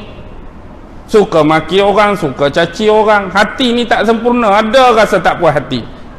Kita tahu kita sakit. Kita sakit ni selalu kita pergi hospital. Macam kita mari masjid. Orang yang mari masjid orang yang cari tok guru macam kita pergi hospital. Orang yang sakit dia tak tenat doktor buat apa Orang sakit tak tenat doktor buat apa? Uh, Ustaz jangan makan lagi benda-benda ni. Dia boleh menyebabkan ni. Jangan minum benda ni Dia boleh efek benda ni. Dan saya sarankan hari-hari makan ni Minum ni. InsyaAllah boleh baik. Tapi kalau orang tahap teruk Dia tah, tahan. Tahan dalam wad. Kalau kita tahu kita sakit kita belajarlah daripada guru dan doktor yang berkualiti doktor yang berpengalaman makan apa yang dia anjurkan yang dia sarankan. Kita duduk dalam wak pun macam tu lah macam mana kita boleh duduk dalam wak? Kita tak pernah fikir pun masalah orang lain cerita hal sakit kita. Tiba-tiba sebenarnya kita sendiri sedang sakit tapi masih boleh lagi duduk cerita hal penyakit orang kita pergi hospital kan kita ICU dah tahap ICU kepala bungkus tangan bungkus kaki gantung. Biasa orang macam ni dia fikir hal dia dah. Aku ni kalau mati lagu ni aku ni tak tahulah sihat ke tak sihat. Tapi ada kau orang sakit lagu ni dia duduk duk cari salah hak sakit kepala saja. Oi hang tahu dah hang ni sakit ni. Dia tu teruk dah. Dia tak sedar dia ni tahap ni. Dia duk cerita duk pesan kat orang hak tahap tu lagi Orang tu relax duk main WhatsApp, duk main Facebook, kepala saja bungkus. Dia ni semua bungkus tu duk cari lagi hak orang lain, duk nasihat orang. Ha ni yang kita sedih hari ni. Manusia-manusia yang dah tahap ICU dah tahap berbungkus tapi sibuk lagi duk cerita pasal orang. Dia dah tahap ICU berbungkus duk sibuk cari kesalahan orang lagi. Pattern yang kedua, pattern yang penting sekali strategi Dajjal boleh guna. Anak-anak kita untuk bawa kita lari pada Allah. Ini paling banyak berlaku. Cantas pada anak tadi paling penting. Hari ini dia menggunakan agenda anak-anak kita mungkin cucu-cucu kita untuk menyebabkan kita ni jadi sesat untuk menyebabkan kita ni ingkar dan lawan Tuhan di suatu masa. Banyak atau tak banyak berlaku. Anak-anak kadang sudah derhaka pada ibu. Dan ibu kadang-kadang tu ikut apa anak kata. Sebab tak mau menyakitkan hati anak. Ah, tak apalah buatlah. Anak tak semayang marah-marah-marah. Ha, saya duk tanggung makan mak selama ni eh, mak duit hospital bulan-bulan saya duk bayar. Anda tahu inilah lorong paling besar lorong paling mudah. Jangan jadi anak-anak yang melorongkan ibu dan bapa kita pada jalan yang bukan sebenar. Hari ni nak jadi dah perangai anak kita macam-macam. Dan kita duk layan lagu tu lah. Kita buat dak kita buat sembrono. Kita buat rasa tak penting kita buat rasa tak tahu satu masa apa akan jadi pada mereka? Mungkin boleh mempengaruhi kita. Pattern yang ketiga dia juga boleh guna pada Quran dan Sunnah. Hari ni kita dah tak mau baca dah tak mau bersahabat. Berapa orang yang boleh kita detect hari-hari saya confirm baca Quran? Walaupun 2-3 ayat. Saya hari-hari memang tak pernah tinggal walaupun 2 ayat ustaz okey dah tu masalahnya saya ustaz baca 15 juzuk ustaz tapi 15 tahun lepas ha, tak mau lagu tu tak 15 juzuk sekaligus tapi 15 tahun lepas lepas tu tak baca lah pasal apa jadi jauh ni Hak duduk dalam rumah Allah tak mengantuk, tak tidur. Kadang-kadang kita boleh detect satu tempat. Rak-rak Al-Quran. Mari bulan ni duduk tersusun lagu tu. Mari bulan depan pun duduk lagu tu lah. Tak ada siapa usik pun nampak gaya ni. Buku pun kalau tajuk tu duduk di lain ni, dia tak berubah duduk di lain-lain. Duduk situ juga. Tak ada rasa orang nak ambil, buka. Tak ada rasa orang nak ambil, baca. Eh, saya dah baca tadi sebelum main masjid. Oh, alasan kita saya dah baca tadi sebelum sampai sini sunnah pun sama sunnah dah terabai. Sunnah dah dimain-mainkan. Tapi jangan pula kita buat pening. Sunnah lain hadis lain. Kita ni kadang-kadang menyamakan antara sunnah dengan hadis. Hadis datang untuk memperkuatkan memperkuatkan dalil bagi pengamalan sunnah tu. Okey, contoh kita kata, pakai kopiah sunnah ke hadis? Pakai kopiah sunnah ke hadis? Pakai kopiah sunnah. Ustaz, pasal apa pakai kopiah? Eh, pakai kopiah kan sunnah Nabi. Saya pun pakailah sebab nak ambil sunnah Nabi. Mana dalil kata pakai kopiah ni sunnah Nabi? Bila orang nak dalil, baru mari baru mari hadis. Anilah dalil ni kopiah ni sunnah Nabi. An an an an an an te te te te te te te. Hari ni orang yang membicarakan tentang hadis, sahih ke dia, tak sahih ke dia, dhaif ke dia, palsu ke dia, tiba-tiba ada orang tu mendakwa dia boleh buat semua benda ni dan dia dakwa dia tu yang bawa sunnah. Faham ke tak? Padahal dia sendiri lagu ni. Cuma bincang hadis, konon-kononnya dah bawa sunnah lagu ni faham ke tak maksud saya Okey, saya pakai jubah. Ustaz, apa dalil uh, sunnah ke pakai jubah? Ha, sunnah lah pakai jubah. Dalil pakai jubah baru mari baru mari hadis. Tiba-tiba duk plek-plek cerita pasal hadis, cerita pasal itu, tiba-tiba dakwa bawa sunnah. Sedangkan dia pakai baju ti hak mana sunnah, hak mana hadis. Takkanlah belajar hadis sudah dianggap kita bawa sunnah sedangkan sunnah tak ada pun pada kita ha, yang kita kena perhati betul. Kita kena beza betul. Kita baru belajar hak tu dakwa bawa sunnah. Sunnah pun tak hidup dalam diri kita. Nak tahu hidup tak hidup? Okey, okey. siapa hak paling kuat sunnah depan saya sekarang? Dah contoh ya bukan cabaran ni. Contoh kita kata okey sunnah. Nabi kan dia ajar pada kita sejak bangun tidur sampai kita nak lena dengan doa-doa pendek, doa-doa ringkas. kalau kita kata nak sunnah sangat okey doa pakai baju bang. Doa pakai baju hak nabi baca. Doa pakai baju tak lepas dah. Hak lepas selalu doa apa? Doa makan doa masuk tandas. Lepas tu hak lain ke mana? Hak sampai tidur nu ke mana? Takkan kerana dua tu kerana dua tu orang lain pun buat pernah terjadi saya nak sebut ha? biarlah. Di sekolah saya ni bila kan waktu rehat waktu makan kita pun berkumpul duduk depan murid-murid. Ok murid-murid tadah tangan kita baca doa makan.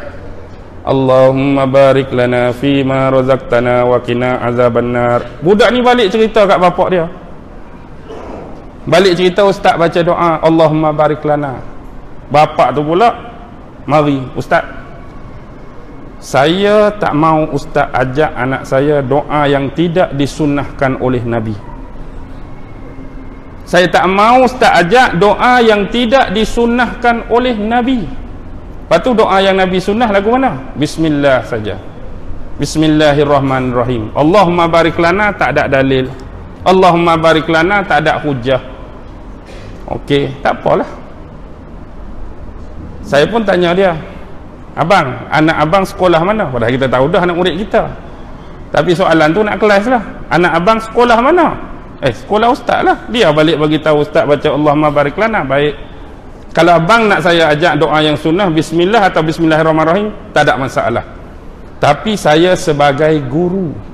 Dan bila kita hidup dalam komuniti di sekolah, sekolah ni banyak event yang perlu saya untuk baca doa.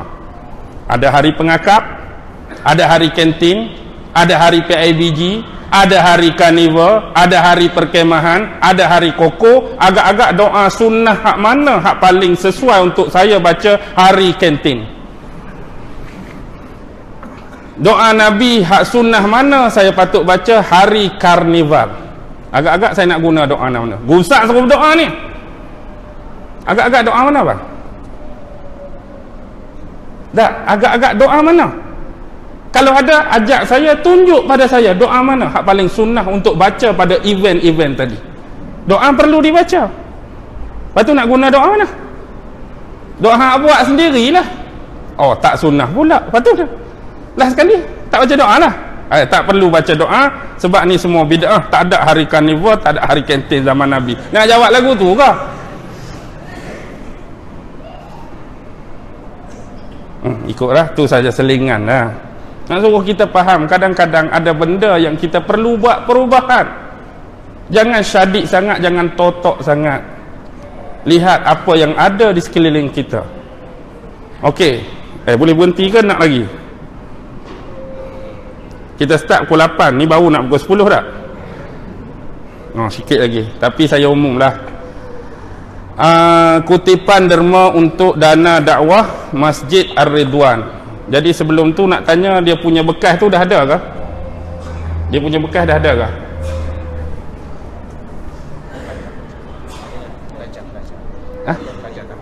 Pelajar tahfiz. Okey. Apa kau? Okey, sambil-sambil lah. Baik. Kita kembali kita tengok hari ini untuk mereka menjayakan agenda mereka. Contoh kita kaitkan tadi Freemason dengan Illuminati dan penyembah-penyembah syaitan.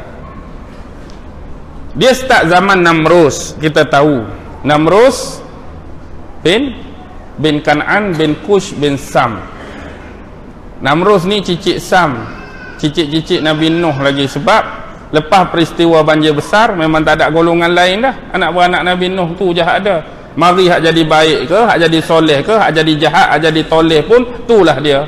Dan termasuk ialah Namrus bin Kan'an bin Kush bin Sam.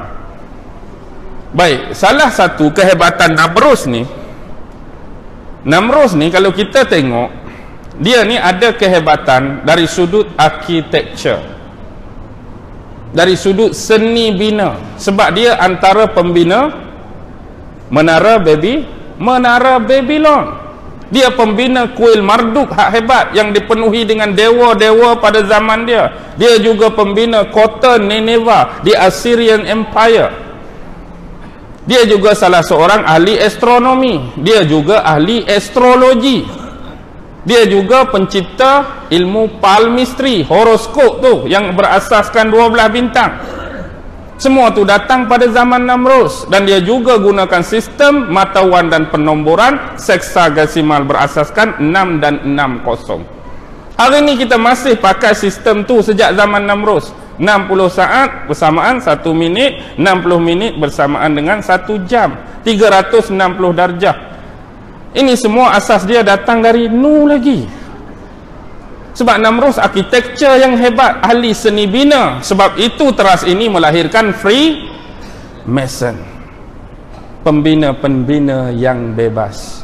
Walaupun asas sebenar Freemason bermula di di Scotland. Hak nama Freemason betul-betul the Scottish Rite.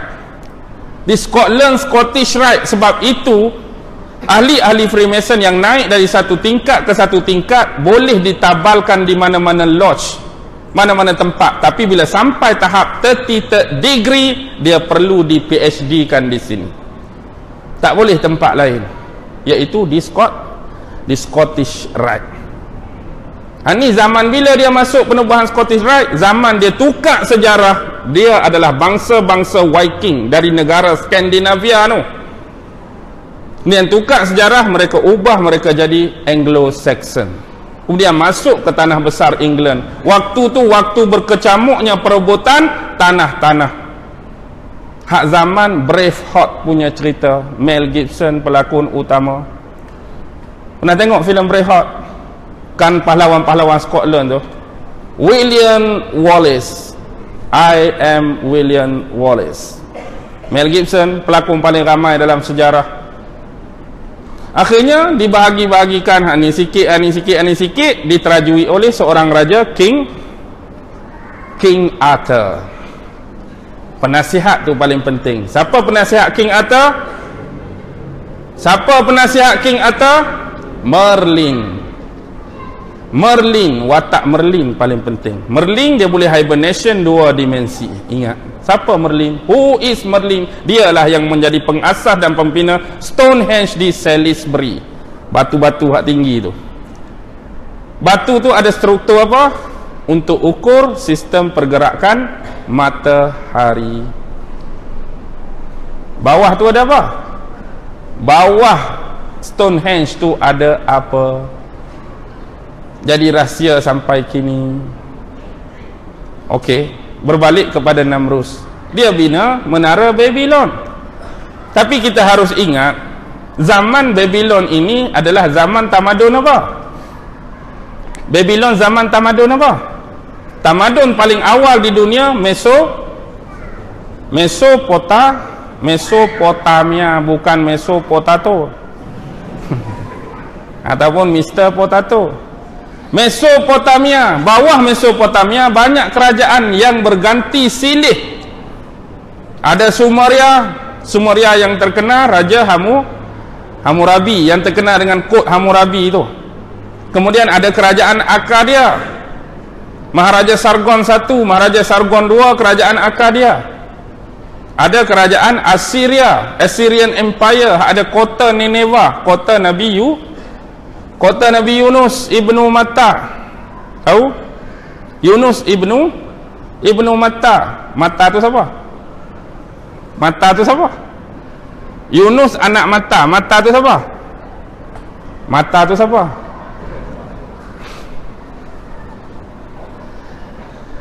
Dua orang Nabi satu-satunya yang dibenkan dengan nama Mak Isa ibnu Maryam dan Yunus ibnu Matta. Matta tu bukan nama bapa, nama mak Nabi Yunus. Hak lain selain Adam lah. Adam tu tak ada lah. Selain semua lakop dengan bin bapa kecuali dua Nabi ni. Adam ibnu Maryam, Yunus ibnu Matta. Anak lelaki Matta. Matta tu nama mak perempuan Mata Ibnu Ibnu Abu Mata. Abu Matta ibnu anak siapa? Yunus. Yunus anak Bunyamin. Bunyamin adik-beradik Nabi Yu Yusuf. Anak kepada Nabi Yakub. Itu jaluran Yunus ibnu Matta sampai kepada Bunyamin. Baik. Sekarang kita tengok. Tu kota dia. Sebelah tu ada empire Aram bangsa Iram bangsa Iram ada tiga Nabi sebelah Assyrian Empire tu Nabi Zulkifli bapa Nabi Zulkifli siapa? bapa Nabi Zulkifli Nabi apa? Zulkifli bin Ay Ayub seorang lagi Nabi Ilya Ilyasa Nabi Ilyasa ha, ni mari ikut keturunan mana? Zulkifli bin Ayub Ayub bin Amush. Amush bin Tawah Tawah bin Tawaf bin Rum. Rum bin Aish. Aish bin Ishaq. Anak Nabi Ishaq. Sebab anak Nabi Ishaq tu kembar. Aish dengan Nabi ya Yakub Nabi Yakub tu kembar. Abang dia nama Ish Zulkifli dengan Ayub jalur dia datang ku Ish abang Yakub kalau Nabi Ilyasa Nabi Ilyasa datang ku mana? Ilyasa bin bin Akhtub. Akhtub bin Syuklim Syuklim bin Yu Afraim Afraim bin Yusuf. Okey. Anak Nabi Yusuf Anak Nabi Yusuf tiga orang kan? Manasih Manasih ni hak hilang rekod daripada orang Yahudi. Hak dia duk cari ni keturunan Manasih Orang Yahudi duk cari sampai ke timur Sampai ke Nusantara lah. Ni Keturunan Manasih Nabi Yusuf Hilang dalam rekod. Siapa keturunan Manasih sekarang? Hak nombor dua tu nama dia Syuklim eh, nama Afraim silap. Afraim. Anak kedua Afraim. Anak yang ketiga perempuan Misha. Jadi Efraim tadi anak nombor dua ada tiga orang anak. Dia sama macam Nabi Yusuf. Dua lelaki satu perempuan hak nombor satu nama Nun. Hak inilah jaluran tadi. Yusha bin Nun bin Afraim bin Yusuf hak nombor dua Syuklim datang kok Nabi Ilya Ilyasa bin Akhtub bin Syuklim bin Afraim bin Yusuf nombor tiga Rahmah. Rahmah siapa? isteri Nabi ah, Ayub. Dia kutu-kutu tu dia kena tulis. Kalau tempat lain saya tulis habis. Adam sampai Muhammad. Dia punya sambungan-sambungan senang nak faham baik situ ada ada benda penting tu situlah tempatnya masjid di Dimash Masjid Dimash di dalam Aramian punya empire dulu. Hak tempat tu Masjid Dimash tu ada satu menara, menara tempat katakan Nabi Isa akan turun di akhir zaman. Tu dalam Aramian Empire. Kaldan bawah sekali sebab Nabi Ibrahim tu kampung dia Ur Faddam Aran. Bangsa dia bangsa Kaldan dalam tamadun baby Babylon punya sekali dengan Namrus. Jadi Namrus punya dia nak menyatukan semua wilayah tadi pada zaman dia. Dia duduk di Babylon biar orang Sumeria duduk bawah dia, Akadia bawah dia, Kaldia bawah dia, Assyria bawah dia, Aramia bawah dia. Dia nak menubuhkan OWG. Apa dia OWG? One World Government satu kerajaan yang bersatu di bawah ketamadunan Babylon. Dan hari ini anak cucu dia bekerja keras untuk menjayakan misi tok dia Namrus dulu. Cuma dia tukar nama hari ini NWO New World Order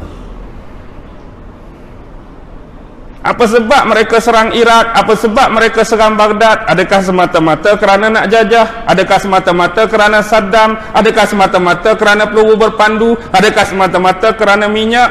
Ataupun di situ adalah Iraq adalah Babylon lah Babylon lama dan hari ini dia tukar jadi Babylon baru di bumi Amerika. Pertukaran itu berlaku di mana? The great seal. Duit dolar lihat kod dia MDCCLXXV1 bawah. 177 e 6 itu adalah kod penomboran sistem 660 seksagasima zaman tamadun Babylon lama kepada perubahan Babylon baru Amerika kepada sistem penomboran berasaskan 10 10 0.6 darat 1110 akan keluarlah 1776 penubuhan Amerika. Penubuhan Amerika. Itulah kod dia 1776 dan begitu juga Illuminati ditubuhkan pada siapa yang tubuhkan Illuminati? Adam Weishaupt di mana Stuttgart Jerman Bavaria satu hari bulan Mei 1776 Illuminati ditubuhkan. 1 Mei 1776 dan hari itu kita diberi cuti. Fahamkah kita untuk siapa kita bekerja sekarang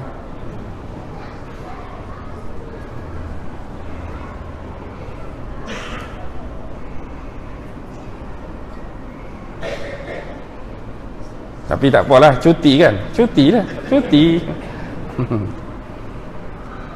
Lepas tu dia bergabung dengan Freemason. Bila bergabung dengan Freemason, memang agenda mereka sama. Tapi perancangan dan pelaksanaan berbeza. Akibatnya penggabungan ini melahirkan apa yang dikatakan sebagai 8F. Tahu 8F tu apa? F yang pertama, faith kepercayaan dan akidah. Mereka akan kikis ini daripada orang-orang Islam. Kikis akidah. Rosakkan agama Islam. Sebab dia tahu bahawa Nabi Isa akan turun dan bunuh siapa? bunuh Dajjal. Jadi sebelum Dajjal kena bunuh dia siap-siap bunuh Nabi Isa. Dia ingat Nabi Isa dah kena bunuh dulu sebab dia dah baca Taurat, dia dah baca Injil, hak akan bunuh Dajjal Nabi Isa. Yahudi ni buat perancangan campur dengan Maharaja Rom zaman Palestin Byzantine Timur, bunuh Nabi Isa. Oh dia ingat dia bunuh Nabi Isa tu Nabi Isa tak turun dah lah. Tapi dia tahu tu cuma pembohongan, nak tipu. Lalu dia tukarlah akidah orang Kristian masa ni daripada satu Masihi sampai 325 Masihi akidah Kristian masih lagi tulen tak ada lagi unsur-unsur anak Tuhan atau Trini Trinity selepas persidangan Nisia konsili Nisia 325 Masihi baru ditetapkan empat Injil yang mereka guna pakai hari ini. Injil John, Injil Mark, Injil Luke dan Injil Matthew dan hari itu jugalah Maharaja Konstantin mengumumkan akidah baru bagi Kristian selepas persidangan konsili Nisia Trinity dan kena menganggap Isa itu anak Tuhan. Kenapa sampai beratus tahun baru bertukar Isa anak Tuhan sedangkan sebelum ni tak ada masalah? Nampak tak? Dia punya permainan jadi hari ini orang-orang Kristian tertipu dengan akidah ini. Tapi orang Kristian pun duk tunggu dah Nabi Isa turun. Yahudi KO terus dah. Bagi dia Nabi Isa dah mati. Bagi dia dia rasa selesa dan selamat. Dajjal sudah tidak akan dibunuh lagi. Sebab Nabi Isa tak nak turun dah. Nabi Isa mati. Tapi kita dua agama besar samawi Kristian dengan Islam duk tunggu. Yang jadi beza tang mana? Yang jadi beza bagi kita waktu orang nak bunuh Nabi Isa dulu pandangan Islam Nabi Isa diangkat Allah. Nanti akan turun. Orang Kristian yang disalib tu dah memang Nabi Isa. Tapi dia meninggal tiga hari. Kemudian Allah hidupkan balik bertemu pertemuan terakhir dengan sahabat dia kemudian Allah angkat. Angkat sama angkat. Tapi kita angkat terus rupakan hati orang lain Kristian hatu pun dia, hak mati pun dia, hak bangkit balik tiga hari pun dia, hak naik pun dia, hak turun pun dia. Tu saja beza. Sebab nanti nak turun di mana? Nanti nak turun di Masjid Dimas, Masjid Umayyah. Tahu tak apa sejarah tapak masjid tu? Zaman tu zaman siapa? Aramia 3000 sebelum Masihi, zaman Mesopotamia seribu sebelum masihi di situ ada kuil untuk memuja dewa haddad dewa badai dewa petir. Zaman tu zaman dewa kan? Seribu sebelum masihi. Kemudian bila berlalu zaman tu satu masihi satu abad masihi ke atas sampai 400 tu dibina kuil. Temonos dia panggil. Untuk sembah Tuhan Jupiter sebab abad pertama sampai keempat Byzantine Timur dah masuk. Byzantine Timur siapa? orang-orang Rom. Rom dia bawa ajaran Hellenistik dia. Hellenistik Rom ajaran dia berteraskan pagan kuno Yunani Greek percaya pada de dewa. Salah seorang dewa dia percaya siapa? Jupiter. Jupiter lah duduk dalam kuil Temonos tu tempat tu. Tempat mana? tempat tadi ada dewa hadat sebelum tu kuil tu runtuh bangun kuil Temonos sembah Tuhan Jupiter. Dia banyak lagi dewa dia 12 tu lah. Apollo pun dia Zeus pun dia Hercules pun dia Athena pun dia Saturn pun dia Jupiter pun dia Hades pun dia Poseidon pun dia. Segala makneka dewa. Tapi salah satu Jupiter sembah situ. Sampailah masuk keempat masihi abad keempat masihi dah dia bercampur Hellenistik dia dengan bila dia mari sini agama Kristian tengah berkembang. Empat masihi. Nabi beranak berapa masihi? Nabi berapa? 20 April 570 Nabi beranak 20 April 571 tak beranak lagi. Ni baru abad keempat 400 lebih. Maknanya agama Kristian tengah naik. Campur dengan Hellenistik tadi mereka pun menganut tapi menganut pun agama pagan Yunani kuno campur Rom mereka adi garak. Garak lah unsur dewa unsur Trinity dia tu. Trinity zaman nu lagi Namrus. Namrus kan mak dia tu. Namrus ni kahwin dengan mak sendiri. Mak dia tu mengandung konon-kononnya tak ada lelaki yang membuntingkan dia mengandungkan dia. Dia kata dia mengandung sendiri. Wanita ajaib dia dakwa. Bila dia mengandung beranak beranak kepada siapa? Namrus. Namrus. Namrus tu anak. Tapi bila Namrus besar Namrus tampan Namrus kacak. Jadi bila orang-orang perempuan nak dekati Namrus mak dia pun cemburu. Pada duk dapat orang lain dia kahwin dengan Namrus. Namrus kahwin dengan mak dia. Jadi otomatik dia tu anak dia tu sua, suami. Lepas tu Namrus meninggal. Bila Namrus meninggal sedihlah kawan ni. Tapi bagi dia jasad Namrus saja tapi roh Namrus masih terus hidup. Sebabnya dia tengok apa? Dia tengok satu kayu yang mati tiba-tiba di celah kayu tu tumbuh tumbuh pucuk baru. Kayu tu dah mati. Dia dia tengok kat taman dia tu tumbuh pucuk baru dia pun datang idea bahawa yang jasad Namrus cuma mati tapi roh Namrus masih tetap hidup. Akhirnya pokok ni besar pokok ni besar jadilah pohon evergreen. Pohon evergreen. Tiap-tiap 25 Disember roh Namrus tu akan datang letak hadiah di pohon evergreen tadi. Roh Namrus datang. Pasal apa 25 Disember? 25 Disember tu tarikh lahir Namrus Hari ni untung tarikh lahir tu sebab kita dapat cu cuti sekali lagi. jadi Namrus bawa hadiah, hadiah, hadiah. Hari ni tukar watak tu jadi Santa Santa Claus sebab tu ada kartun budak tanya, Pakcik Santa, Pakcik Santa, Pakcik Santa ni mitos Pakcik Santa legend tapi pasal apa? Ayat-ayat dalam Injil, ayat-ayat dalam Bible ada satu pun cerita pasal Pakcik Santa.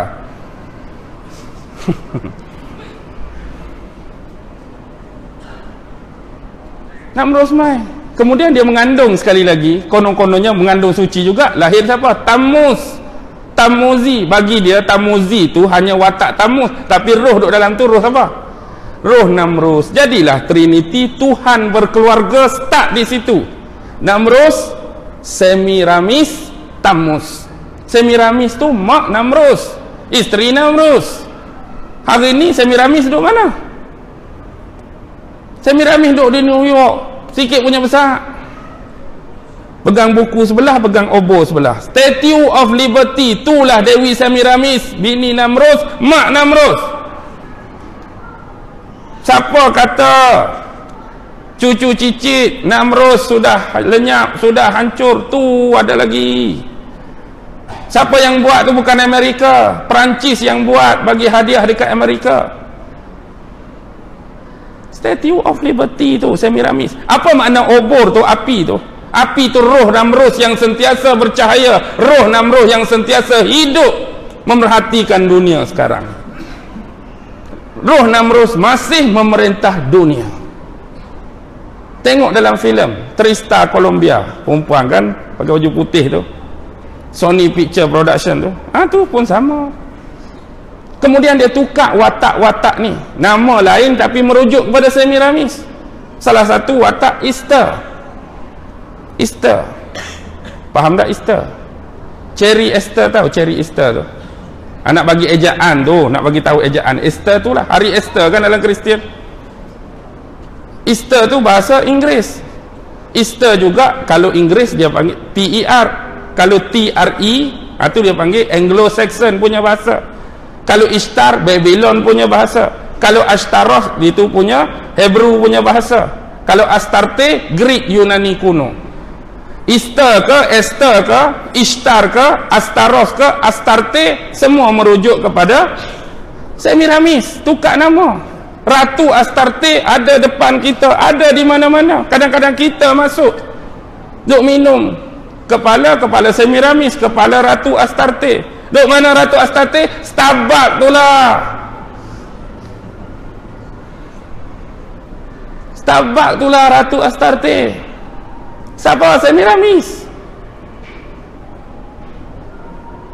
lenyap ke hilang ke ada di mana-mana hak ni lah yang kita nak duk ceramah kita duk kuliah ni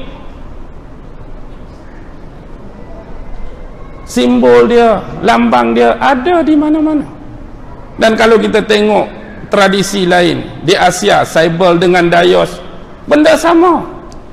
Di India Dewi Dewika mengandung suci juga dapat anak Dewa Krish Dewa Krishna. Mana Dewa Krishna? Kalau dewa siva hak bersila trisula mata tiga ulak senduk tu siva. Kalau hak bulatan macam joget tu uh, tu, uh, tu Vishnu kalau Krishna hak mana duk tiup seru. Seruling.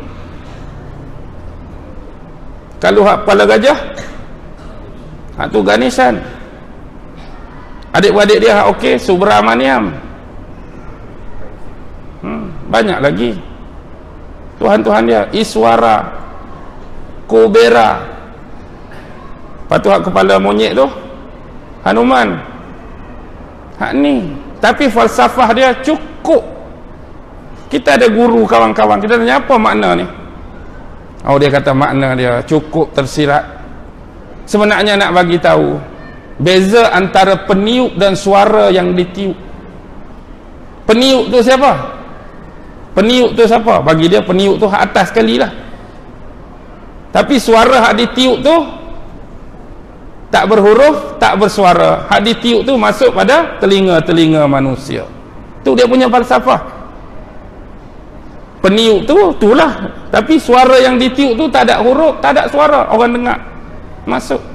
Ada beza peniup dengan suara yang ditiup suara yang terhasil. Peniup lain suara yang ditiup lain suara yang terhasil dari seruling juga lain. Biarlah tu dia punya falsafah dia punya teori agama dia.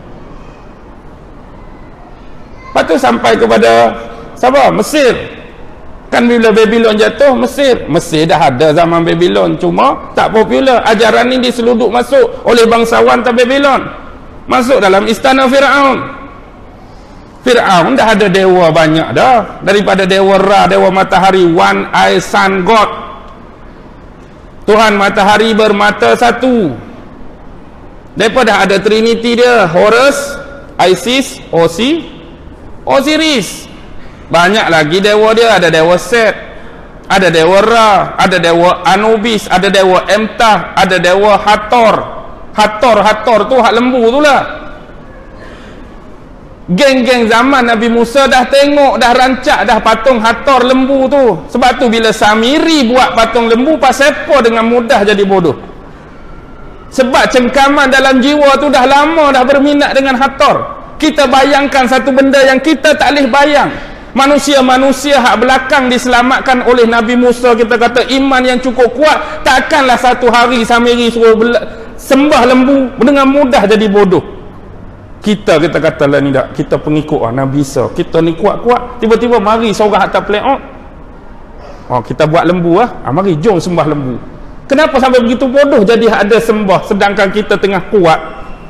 Sebenarnya pengaruh tu dah ada pada Dewa Hator Dewa lembu tu sebab tu mereka pernah minta dengan Nabi Musa buatkan untuk kami satu patung agar mudah kami nak sembah Tuhan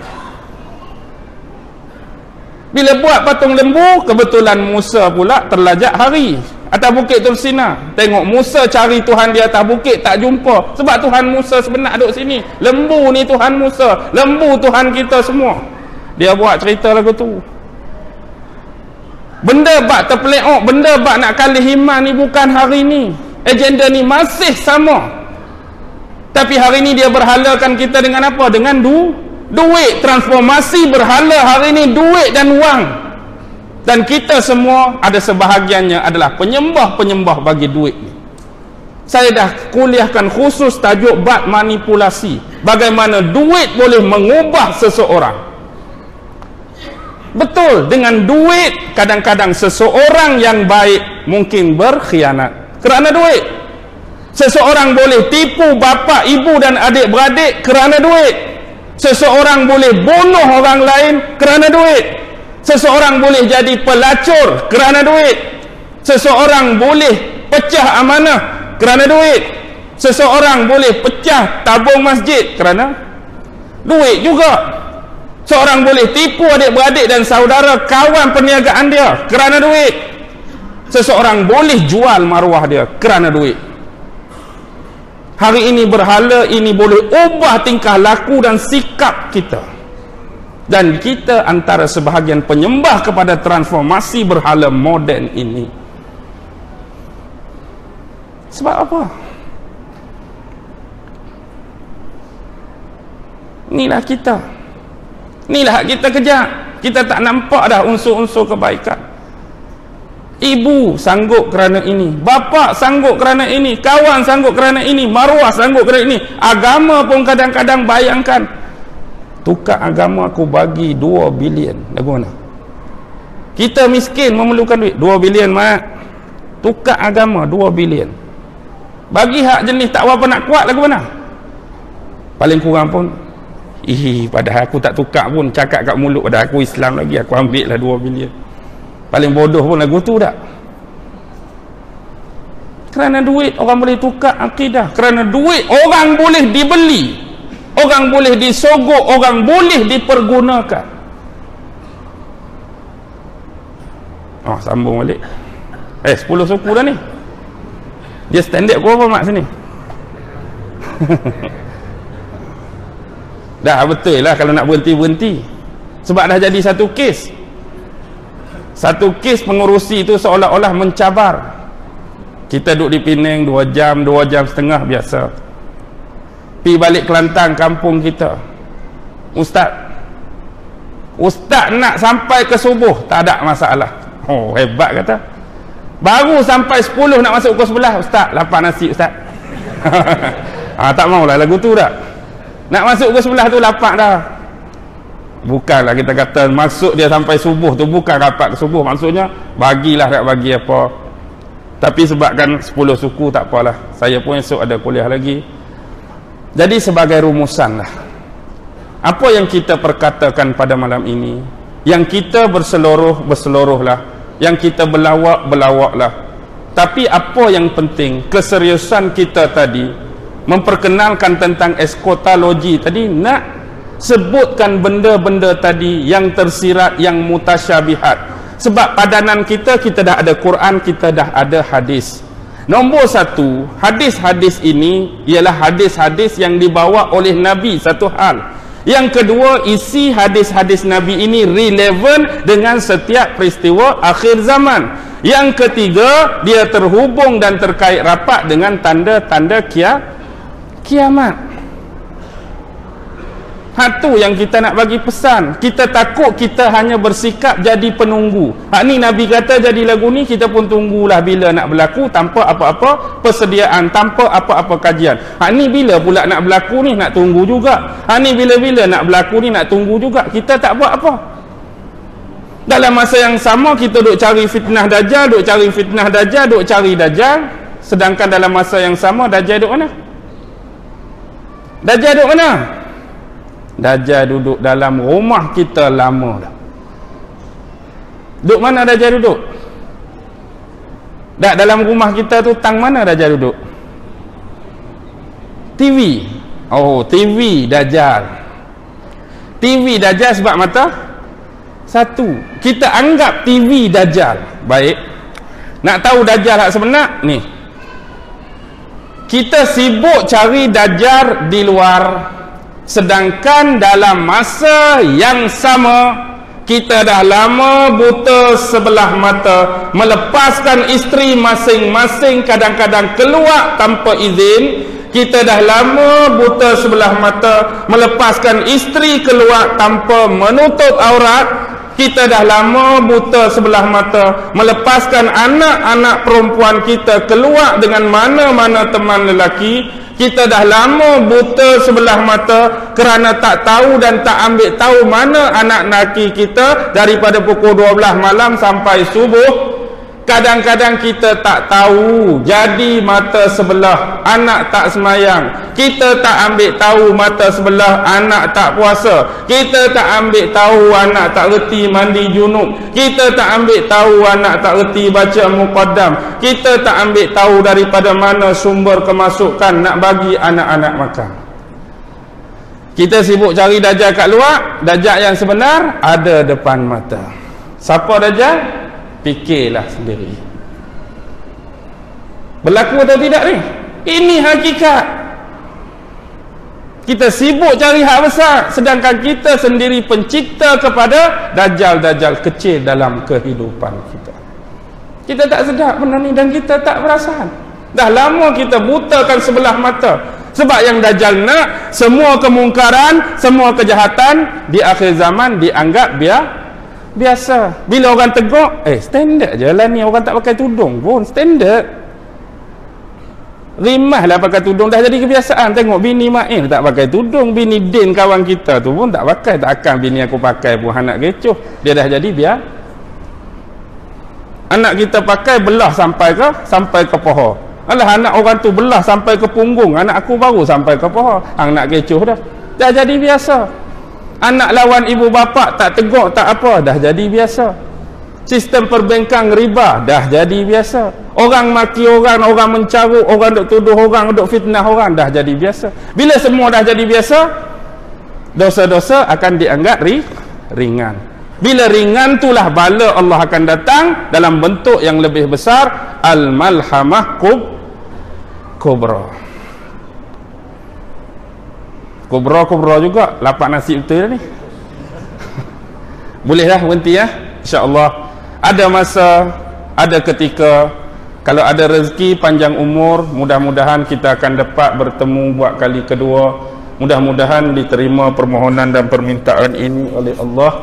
Dan saya harap perbincangan Saya anggap perbincangan lah. Bukan bagi kuliah, bukan bagi ceramah untuk menyedarkan masyarakat kita dengan niat yang ikhlas. Tidak ada apa-apa pun yang saya harapkan kecuali kefahaman daripada hadirin hadirat muslimin muslimat supaya masing-masing menjaga akidah syariat adab dan etika kita terutama di musim-musim akhir zaman dengan pelbagai fitnah-fitnah dan tomahan terhadap agama yang sama-sama kita kasihi dan sayangi wabillahi taufiq wal hidayah wassalamu alaikum warahmatullahi wabarakatuh أعوذ بالله من الشيطان الرجيم بسم الله الرحمن الرحيم اللهم إنك تعلم أن هذه القلوب قد اجتمعت على محبتك والتقت على طاعتك وتوحدت على دعوتك وتعاهدت على نصرة شريعتك فوسك اللهم رابطتها وأدم ودها واهدها سبلها واملأها بنورك الذي لا يخبو واشرح صدورها بفيض الإيمان بك وجميل التوكل عليك وأحيها بمعرفتك وأمتها على الشهادة في سبيلك إنك نعم المولى ونعم النصير وصلى الله على سيدنا محمد وعلى آله وصحبه وسلم سبحان ربك رب العزة عما يصفون وسلام على المرسلين والحمد لله رب العالمين الله أكبر